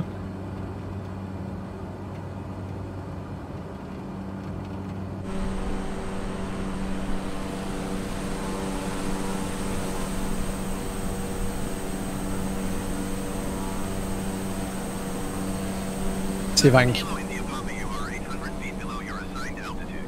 800 feet. 2944 on the altimeter. Trying to take a look at X Lord's plane over here. Oh, he's got the he's got the green livery going. I love how it always shows pink on the inside on the avionics. All right, let's acknowledge that. So he said we're uh, we're 800 feet below. So there was a big change in the altimeter. It sounds like two nine or four four. Oh no no no. Oh sorry, we're good. All right, I am gonna update the altimeter, but we're gonna ignore this um, just because our options with VNav are limited right now. So I'm going to acknowledge this, otherwise they're going to cancel the IFR clearance. Um, they want us to climb and maintain 8,000, but our VNAV profile, I really want to use VNAV. Realistically, we would listen to ATC, obviously. Um, but in this case, I want to take advantage of what we can do with VNAV, so I'm just letting us do the descent. Um, so I'm already down to 6,300. We're about to pass 6,200 feet.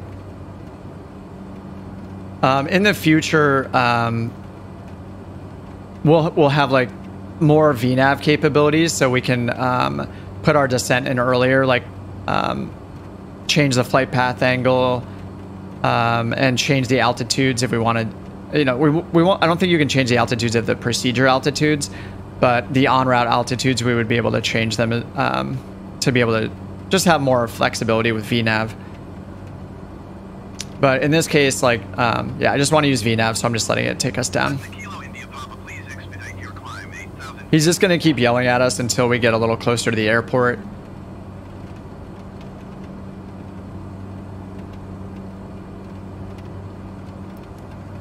And check our PFD options here. I mean, we would normally listen to them, of course, just because of obstacles and stuff like that. Um, it doesn't look like we have any crazy terrain happening, so it is a risk to do something like this. We wouldn't actually do this, but um, yeah, I want to see VPath and VNav in, in action, so that's why we're doing this. Uh, and then I'm just turning off NEXRAD over here on my inset map. I usually like to check the NEXRAD and turn it on and off here and there on the large map. And then I like to have um, I personally use the relative terrain mode over here on the left because I want it to act like a like a ground warning basically. All right, I'm gonna close the flight plan and I'm gonna turn off NEXRAD over here just to clean up the map and then zoom in so we can see more. You can also see over here this thin line. This represents our missed approach procedure. So you can see it's got our entry and then it's got our racetrack. I guess it's it, it almost it looks like it's left-hand turns for this hold. Um, but that's where the missed approach procedure is depicted on the map, and you can also see it in the instructions. Um, down here, if you look past the missed approach point, so here's our missed approach point. And then uh, our, this is kind of an advisory altitude. Before making our first turn, we should climb to 3,000 feet. And then we have our missed approach holding point at Yankee Uniform Lima, so this VOR over here and it's got the hold instructions already entered in for us. So it looks like, yeah, it looks like uh, it's just from the image here, it looks like it's left-hand turns in the hold. Um, and then it has the radial, it has the in and outbound course put in.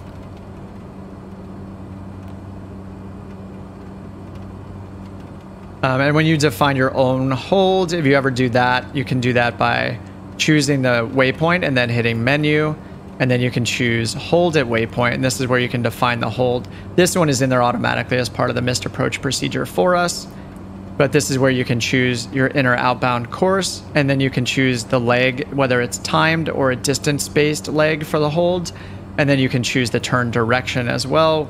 Standard turns are right for holds, uh, but it looks like in this in this case it looks like it might be turns to the left. Okay, so here all right, so there's the descend and maintain 3,000 feet. So um, ATC would have us descend at 3,000 feet starting right here, which is kind of crazy because we would have to descend from 8,000 to 3,000 feet from here to here, which is it's probably only a couple miles. Uh, I'm going to hit one to reply to them. and I'm pulling back on my throttle. We're going we're going pretty fast. I'm just pulling back a little mainly because of the wind, uh, not because we're gonna hit a speed limit or anything in the Grand Caravan. So I'm just pulling back to about 150 knots. All right, altitude is holding at 3,000, so we're already down at 3,000 feet. And we're gonna go outbound, make our left-hand turn here to start the procedure turn, then turn right. And then once we turn around right, we're gonna line up with the localizer course, which here on the chart, our course is 240. So we can see that up here in the top. It says final approach course. Final approach course 240. And then it's depicted on the map right here after the procedure turn. So you can see the procedure turn is to the north side of the course, of the final approach course. And you can see our little pink triangle here showing where we are. Um, so yeah, on our way, when we turn back in, we'll line up with the localizer course. And then you can see we're going to go down and hold 3,000 feet until we intercept the glide slope. And it says we'll do that about 4.5 nautical miles out uh, at 3,000 feet. And then, yeah, it's an ILS, so we can go down to 439, call it 440 for our decision, our decision altitude. Decision height, AGL is 200 feet from the ground. And then we also see our missed approach instructions here. So climb to 3000 on track 240, left turn direct to the YUL VOR. So that's down here is the Montreal VOR. You can see that right here and right here. And this dashed line here depicts on the map view our missed approach procedure. So you can see we're climbing runway heading on a track of 240, left-hand turn over to YUL, and we'll hold at YUL at uh, 3,000 feet. And those are also, um, so we're starting our procedure turn right now. Gonna add in a little bit more of that throttle. So we're at 200 or 120 knots. We can go a little bit faster. Um, and then down here, there's a shorthand for all those missed approach procedure um, instructions, and those are these boxes right here. So this right here, climb, this is straight ahead to 3000, and then right there's the uh, 240, so that's just the direction we're on, which we're pretty much going to be just flying, keeping our runway heading synced um, because our final approach course is 240. So that's just saying to stay on that same course or track of 240. And then their left-hand turn is what we're going to make to YULVOR, and it gives us the frequency of it right there again, 116.3 if we did the missed approach and the hold. And then down here, we can see the runway lighting system. So we'll have that familiar rabbit leading up to the threshold of the runway. So we'll have those lights available. Sounds like the clouds are not as bad as our last one. Um, let's check the ATIS one more time. It's going to turn on COM 2, see if we have information Charlie. We do. 264 at 8, so that's favorable for our runway, of course. 600 feet broken. 9 degrees Celsius. 2943. ILS 24 is still in use.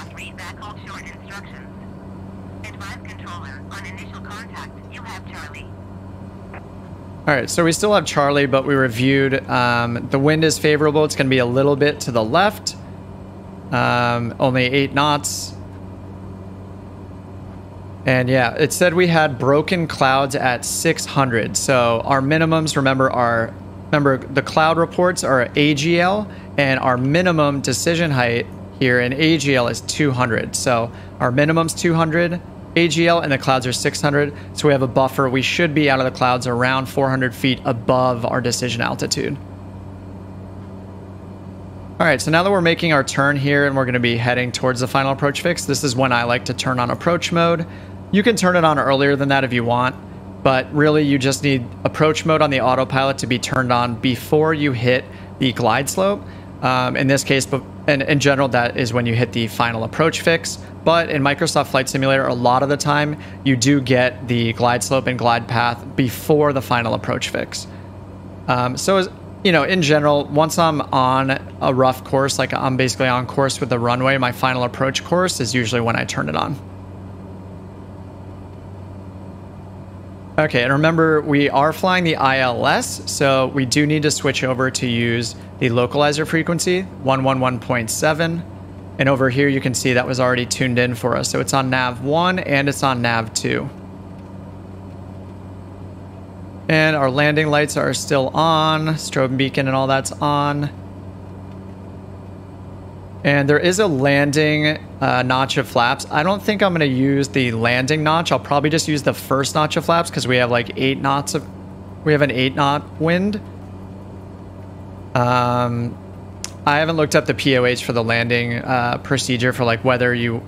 Just in terms of if you want full flaps or not, mattering the wind. I'll probably just use one notch of flaps. All right, so we have our glide slope now, and automatically it turned it uh, turned our navigation source to our localizer. If it doesn't do that automatically, remember you have the CDI button down here to change from your GPS source to your localizer 1 and 2. Or, you know, if you're using a VOR approach, it would be VOR 1 or 2, etc. Whatever um, radio-based navigation aid you're using. All right, so I'm going to start slowing us down. We are still four miles from the final approach fix. And you can see that our flap range here for full flaps, this white uh, notch right here starts at 125. Actually, if we look down here, I'm going to double check on our flap settings. Um, yeah, the takeoff is 150 right here it says. For the first notch of flaps, we can use them at 150 or below indicated airspeed. And then down here, 125 for our landing flaps. Uh, Mekin says, yeah, full flaps is for short takeoff and landing. Okay, cool. We'll just use one. Extremely slow. Got it. Yeah, I'll use, I'll just use one notch then. And um, because we had autopilot turned on and we had approach mode armed, the glide slope has been captured automatically. So now we're on the glide slope. And we're at 2.6 miles from the final approach fix. After we hit the final approach fix here, we have four nautical miles to our missed approach point, which is the threshold runway 24. I'm going to sync our heading bug to straight ahead. All right, we're, we are inbound. We're going to contact tower. So again, if you want to do this manually, 119 or 1, you would go over here, and I'm using COM 1, 119.1. I'm just using my mouse wheel to roll the buttons. And, you know, if you do VATSIM or something, you have to do it this way. And then you hit the swap button. And now for this ATC, I can press 1 on my keyboard to contact the flight sim ATC. Oops, hit it again. There we go. All right, so this, uh, if, if the weather is correct at 600 AGL, we should be out of the clouds with about 400 feet to spare. Real life METAR right now says broken at 500 feet. All right, so acknowledge they said wind is 264 at 8, clear for the ILS runway 24.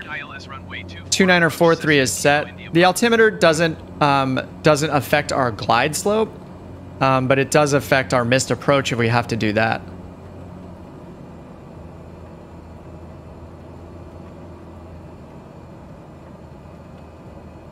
All right, so I'm slowing down here. I can see the runway lights right there. Looks like a couple of you are landing already. Putting my one notch of flaps out. And we're at 3.4 miles. 264 at 8. Clear to land 24, so hit 1 to acknowledge the clear to land. Clear to land 24, we're on 243 here on our heading. Our course 239. And our altitude we can go down to is 440 feet. Just going to double check that. Seems really low. Yeah, 200, 440 feet. Uh, yeah, we can clearly see the lighting system already. So we're not going to go missed. We're at 1,100 feet. And they told us the altimeter... Um, they just gave us one. I think we're good. Uh, so we're at 1,000 feet right now. We can go all the way down to 440 feet before having a, the runway environment visible. All right, and I'm gonna bring my, I gotta slow down quite a bit here. This is seems like a pretty, uh, it could just be like my brain playing tricks on me. What is the descent here? Oh no, it is three degrees. It is three degrees. It seemed a little more steep to me for a minute. All right, so I'm at 80 knots. I'm gonna slow down to 75 knots or so. We have one notch of flaps out. We are at 780. And if we look at the wind, you can see it's straight ahead. It's a, pushing a little bit to the left. We just got the call for 500 AGL. So remember, when we hear 500 AGL, we know we have down to 200 AGL for this approach. So we still have 300 feet to go because the ILS it goes down to 200 on this approach. 440, we're at 640, 200 feet to go, 72 knots. I'm adding just a little bit of power here. One notch of flaps are down. Could turn autopilot off right now. We could wait until we get to our minimums. We're at 440. We're at 540 right now, 100 feet to go on minimums. I'm just going to disconnect now. And remember, uh, I'm going to keep in mind that the wind's going to push us a little bit to the left. Um, I'm keeping an eye on my flight path marker right down here um, to try to get that onto the runway. There we go. PAPI lights are still good. Speed is good. 76. Getting ready to go to idle when I cross over the threshold here.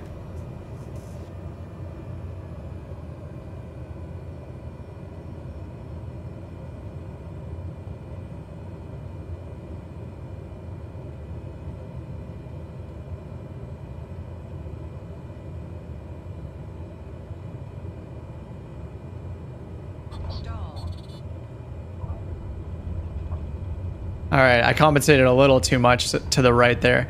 I, uh, as you guys know, I I have a challenge um, compensating for the wind. Usually it'll it'll be lined up pretty well, and then I'll kind of mess it up one way or another. Um, so I definitely overcompensated a little bit there. I'm gonna clear the runway because there's probably a, probably at least one other person landing. I see end game. I pause to see all of you land. Oh, nice. I want to go to the drone. I think uh, one more person's coming in. Subdued Rat and X-Lord just got in. Looks like Aviator just landed. He's still rolling down the taxiway. If I was a little uh, closer ahead. Look at all these caravans. Um, let me respond here. Ground handoff. All right, so I'm just going to switch our fuel condition down here back to from high idle to low idle for taxiing. And then I'm going to switch on our taxi lights and turn off our landing lights. Even though we're still technically not off the runway, I haven't really cleared it yet. What happens in the NXi if you do not disconnect the autopilot? Well, it's not going to be reliable. It's not um, like following an ILS like that is not in this kind of plane. It's not going to give you like an auto landing system. Um, but you know, you in the sim, you could try it out. Like you should, you should be disconnecting the autopilot when you're at, at or above the minimums. Um, and there's hand flying it because technically you should have a visual of the runway environment and be able to land visually at that point. Um, there are some planes that have like a full on auto land system though. Like, um, I know some of the airliners have it. I think the implement the implementations vary, mattering which airliner you're flying. Um, but you know, if you just want to have some fun and test it, you can try to take it down. I think in one of my really early videos, like more than a year ago, uh, when I was first learning ILS stuff, I was trying to uh, fly it down um, as low as it could go, and I would just like disconnect and flare. Um, it's kind of a your mileage may vary kind of situation, you know. Be fun to try it out, but yeah. Oh, Cat 3, yeah. And I haven't flown any of the Cat 2 or Cat 3 ILS approaches. Uh, but yeah, I know Cat 2 brings you down to like 100 feet AGL, and I, I, assume Cat 3 is, what is it, like 50 feet or 40 feet, or I, I don't even know. I would be guessing. Sweet, that was pretty fun. Um, all right, so that was two successful landings. Wow, I've been on for three hours. Doesn't feel like three hours. Uh, let's go ahead and get our taxi instructions here. So I'm going to tune into ground, get taxi to parking because I want to get credit for the flight.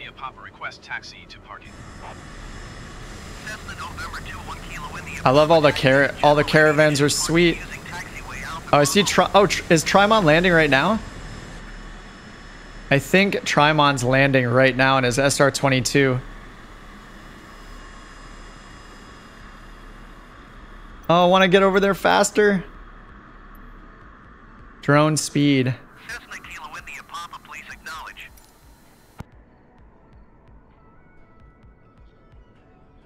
Oh yeah, he's come. It looks like he's. Uh.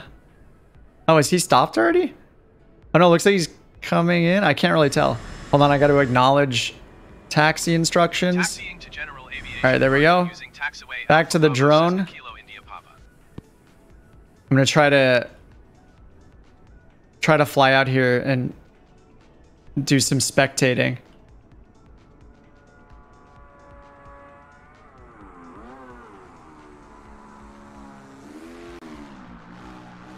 Oh yeah, he he got assigned the uh, opposite direction.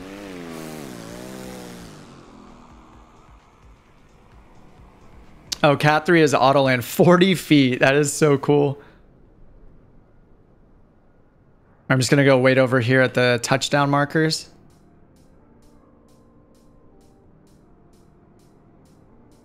We do have time to see a landing. Yeah, I think, uh, oh yeah, Tri Trimon said earlier in the, in the chat, he was assigned ILS 06. So it, uh, it took him around the other side. He got the other side of the runway, which is pretty funny just because yeah, they wouldn't have the ILS active on both sides at a time, right? Are there even runways that have an actual ILS on both ends? Or do they do back course? Because they, would have to have a glide slope and a localizer on both ends of the runway for each direction, correct? No pressure, dude. You got it. The SR22, I I have a challenging time landing it just because it's so much faster.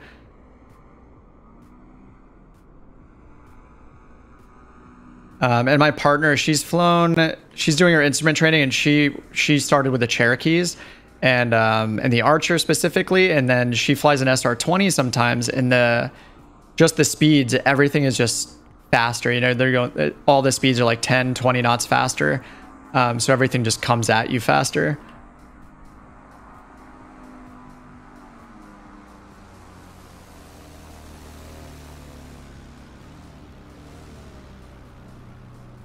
He's down. Can join us at the far end of the runway. oh, we're just at the next taxi where we're not too far off. Awesome. That was it was fun doing night flights. I, I think like yeah, I like the scenic stuff, but I also like doing these kind of uh these kind of landing challenges in a way. This one was much easier than the first one, but I'm glad we got one in that was uh, a really sketchy landing because it's just exciting.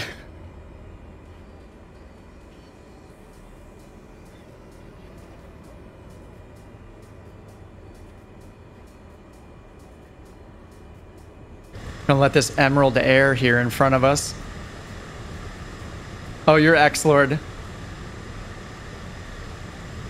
I'll try it out at Cat 3. Most of the international airports have one ILS for each runway. So two ILS, one in each direction.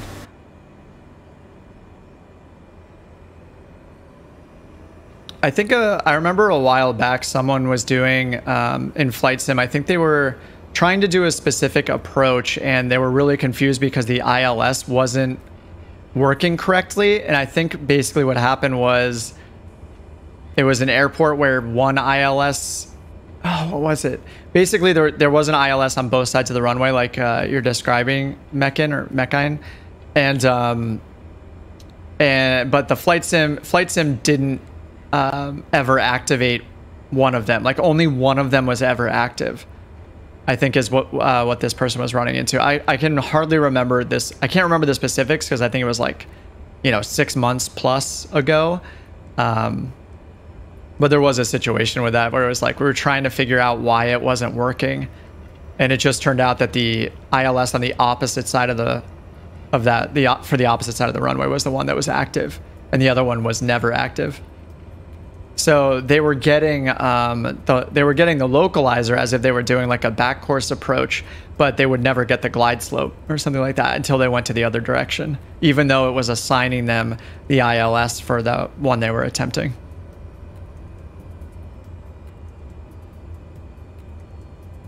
So I actually uh, I did buy the TrackIR. I know we talked about this in the last stream. I bought TrackIR and it's sitting on my desk. I used it for like 10 or 15 minutes and then put it away again. um, I did some people gave some tips on using it. They said to like increase the activation zone or something. So you have to turn your head significantly before it turns on. And I can understand doing that just to be able to look around, like when you're coming in on your base and final turns. Uh, that sounds pretty useful. So I'm going to give that a shot uh, for the next one. And um, yeah, I'll see if I like it. I'm trying to I'm trying to give it more than like a few days to see if I get used to it. Um, and I did end up uh, reformatting my whole computer. I upgraded my processor to a 5900. Um, and actually, I noticed a pretty significant increase in my frame rate. Um, I'm getting like a good, it matters the area, but I was flying kind of in the middle of nowhere on ultra settings and getting in the 70s. Um, I think before I was getting under 60 most of the time. I didn't change my video card. I'm still on a 3080 but that processor uh, upgrade did a lot. Um, I went from a 16 core processor to the 12 core 5900 processor, which is kind of like the go to gaming processor right now, I think. And they were in stock. So I picked one of those up and I rebuilt. I got a new motherboard as well with more USB ports, um, which is nice. So I don't have to use as many hubs. But if you guys are struggling with frame rates, um, you know, a processor upgrade might help you. It seems to do a lot for Microsoft Flight Sim because it's pretty CPU heavy as well. Um, and I'm running on Windows 11 as well, and I haven't had any issues. Um, even doing the streaming, doing the stream today has been working just fine. Uh, using the like Adobe programs I use, like Premiere, seems okay. no, not only a 3080, Warren. I I recognize I got really lucky last year when I got my hands on one. I was running a 2060 Super um, last year, and I got really lucky. I got on Best Buy and got it. Um, so I was really lucky. I totally recognize that, and I know it's impossible to get your hands on a 3080. Um, it has been for since the pandemic started. It's been really hard. So yeah, I totally recognize that, dude. Um, I got extremely lucky in getting one. Um, I remember spamming the Best Buy site and, and doing checkout three times in a row to get one. I know my wings are clipping the edge of these planes right now. Um, so yeah, but what I'm saying is that um, if you don't, you know, if if you're looking to upgrade, you might want to consider a processor because it did a lot for my frames. I realize I'm running a pretty high end already, you know, with the video card, but the processor helped a lot. So, you know, if you're trying to hold out for a new video card and it, it's you know really impossible to get your hands on one, there are processors in stock, so you might you know you might want to look into upgrading the processor. No trick or treating. I'm just parking right on top of someone else. We gotta we gotta sign the same parking spot. It looks like. Um, but anyway, yeah, I just wanted to say that that might be an option for you guys if if you can't get your hands on a video card like a lot of people can't. All right, so fuel condition shut off, and I believe I just can turn... Uh, what do I just turn off the battery?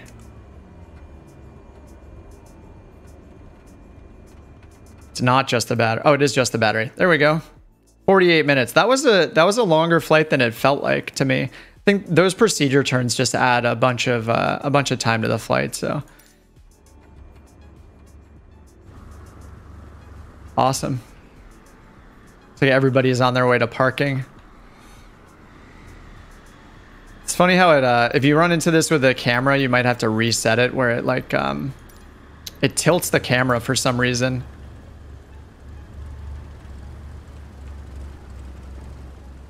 All right, we made it. Uh, I'm good. Uh, finally able to write yes. I saw correct that I was still landing. At some point, I had no ATC. The arrival procedure failed. I had to turn around and do a manual. Oh, that was all manual. Nice. Yeah, we saw you come in for the landing. I hope you uh, saw us actually this time. Uh, I'm good. My old eyes can't see past 30 FPS. well, I'm gonna try. Uh, I am gonna try to use TrackIR a bit more. I was working on a video. Sorry, I haven't had a new tutorial out in a while, but hopefully these streams are uh, are, are providing enough right now to do some of these procedures. I do want to make an ILS and a missed approach video at some point. Um, little personal news tomorrow morning, I'm getting my wisdom teeth taken out. I realize uh, being almost 40, it's pretty late to get my wisdom teeth out, but they have to come out now. Um, so I'm doing that tomorrow morning. So I will be not um, not probably not streaming this week. Probably not streaming on Thursday. I'll probably feel good enough next Sunday. Uh, once I'm all healed, said I'll be swollen for about a week. Um, so I'll probably check in on Discord and say, I'm in bed sleeping and the wisdom teeth got taken out successfully. So that'll be fun. So I'll be doing that and uh, probably be more quiet than usual this week.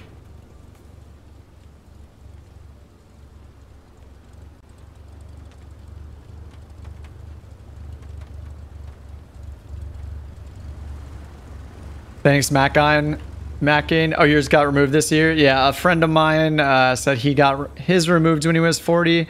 And it seems like um, it seems like there are like disagreements on what between dentists or something like to when to get them taken out because i remember like 10 years ago my dentist you know said oh if you don't have any problems with your wisdom teeth don't take them out and then this dentist now says you know i realized that was a long time ago um, and they basically said if they're not causing any problems don't take them out and then you know when i go to see this oral surgeon because um, another another dentist told me to get them taken out finally um, he's like, oh yeah, nobody over the age of 20 should have their wisdom teeth. I was like, what? so anyway, we'll see how it goes. I hope uh, I hope my recovery is fast too. Guess you won't be able to talk after the removal. yeah, bad for streaming, exactly. So probably won't be on on Thursday. We'll see. I might feel better by then, but I'll uh, I'll let you guys know. And uh, yeah, thanks for the good luck. Got yours removed. That's awesome. Yeah, I hope yours went well as well. I'm ho- I'm hoping the uh, surgery's smooth. It should be. They said it'll take less than an hour, so. Yeah, I'll be on the uh, fun the fun drugs for a day. Missed the flight. Yeah, well, thanks for joining anyway, Warren. Yeah, um, hope to do another one next Sunday. And thanks to all you guys for joining. I know a lot of you guys join every flight, um, so it's awesome to have you guys along every time. Thanks for hanging out. And uh, yeah, thanks. If you want to hang out in the Discord, it's linked in the chat below. If you guys want to do any uh, flights together, um, and yeah, I will talk to you guys uh, after surgery tomorrow at some point. And to the new people that joined, thanks so much for joining and uh, hopefully do this again next Sunday. Hope you guys have a good rest of your day or night. And uh, yeah, I'll see you next time. I'll keep in touch with you on Discord and stuff. Thanks for tuning in. And uh, yeah, see you next time. Bye.